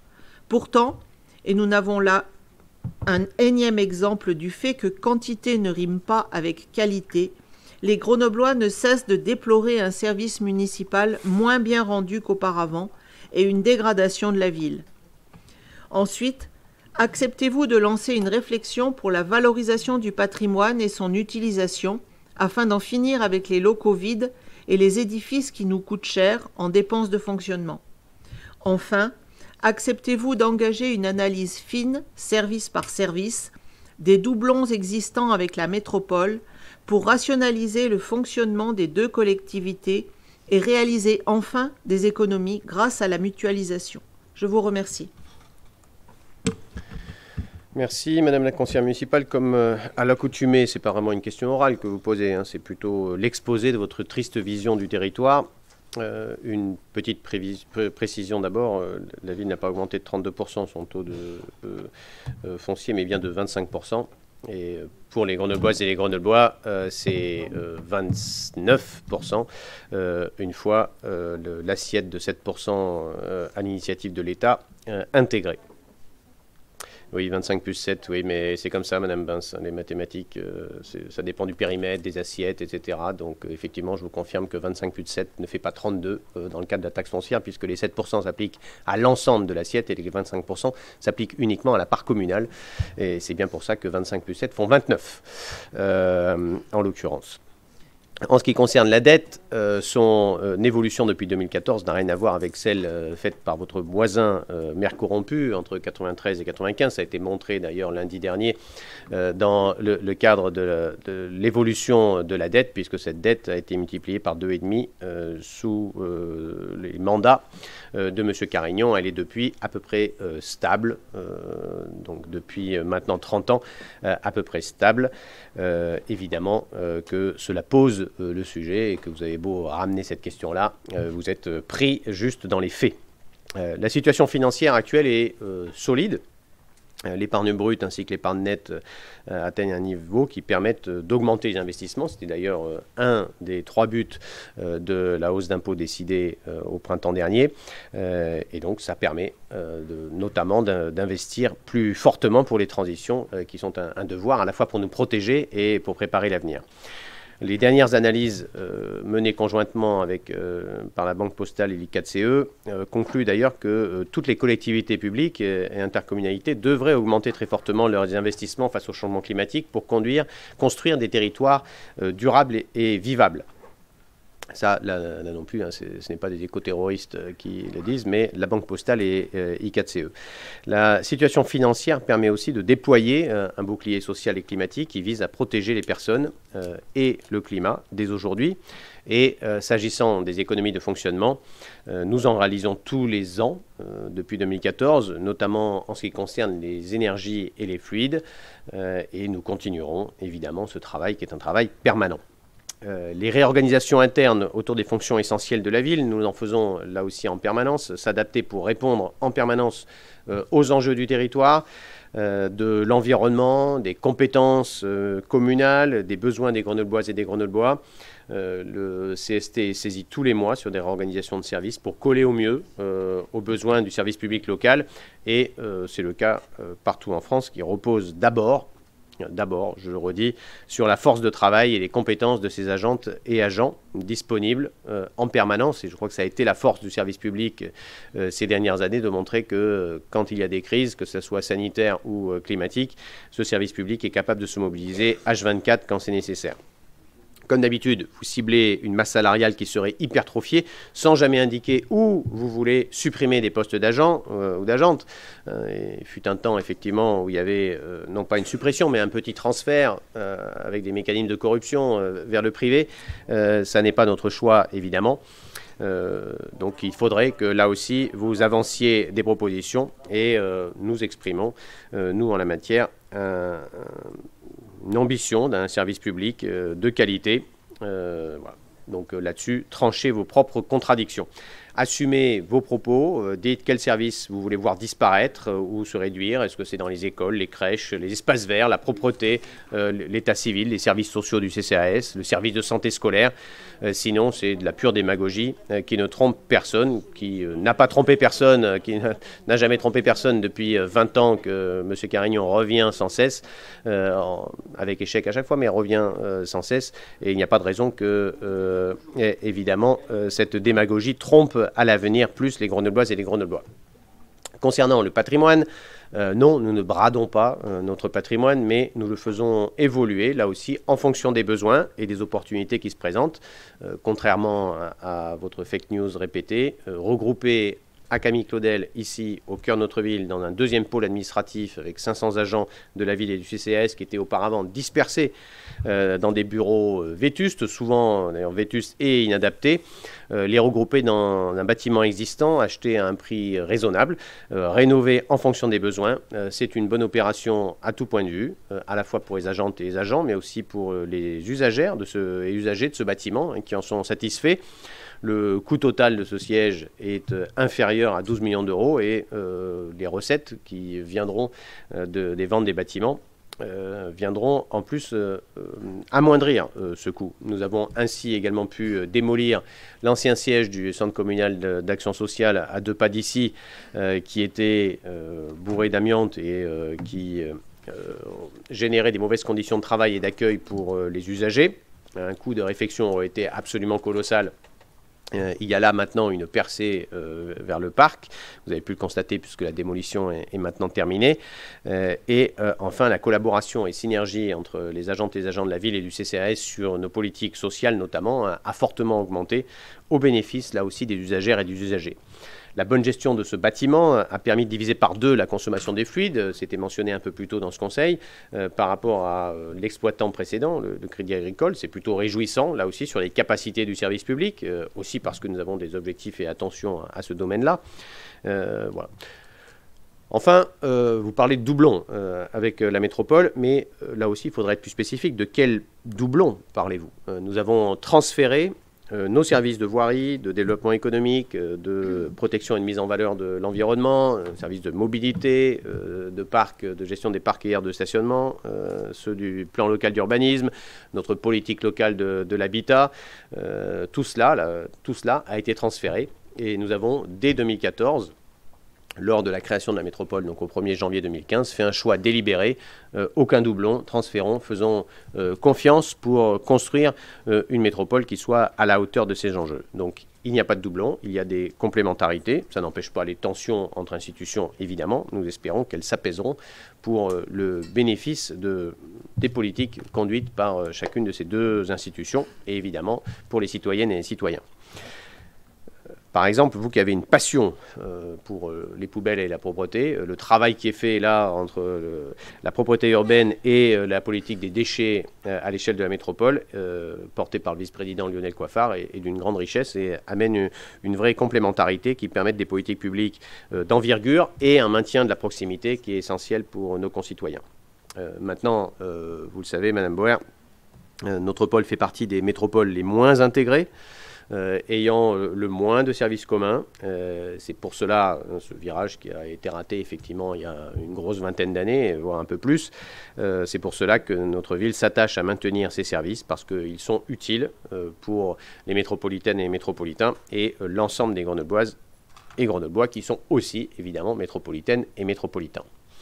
Voici pour ce que je pouvais répondre à cette question orale. Cela clôt euh, ce conseil municipal. Euh, merci à l'ensemble des élus qui ont pu se libérer euh, donc ce matin et au mois de décembre, un peu après la mi-décembre, pour le conseil municipal qui portera, lui, sur le budget. Merci, bonne journée à toutes et à tous.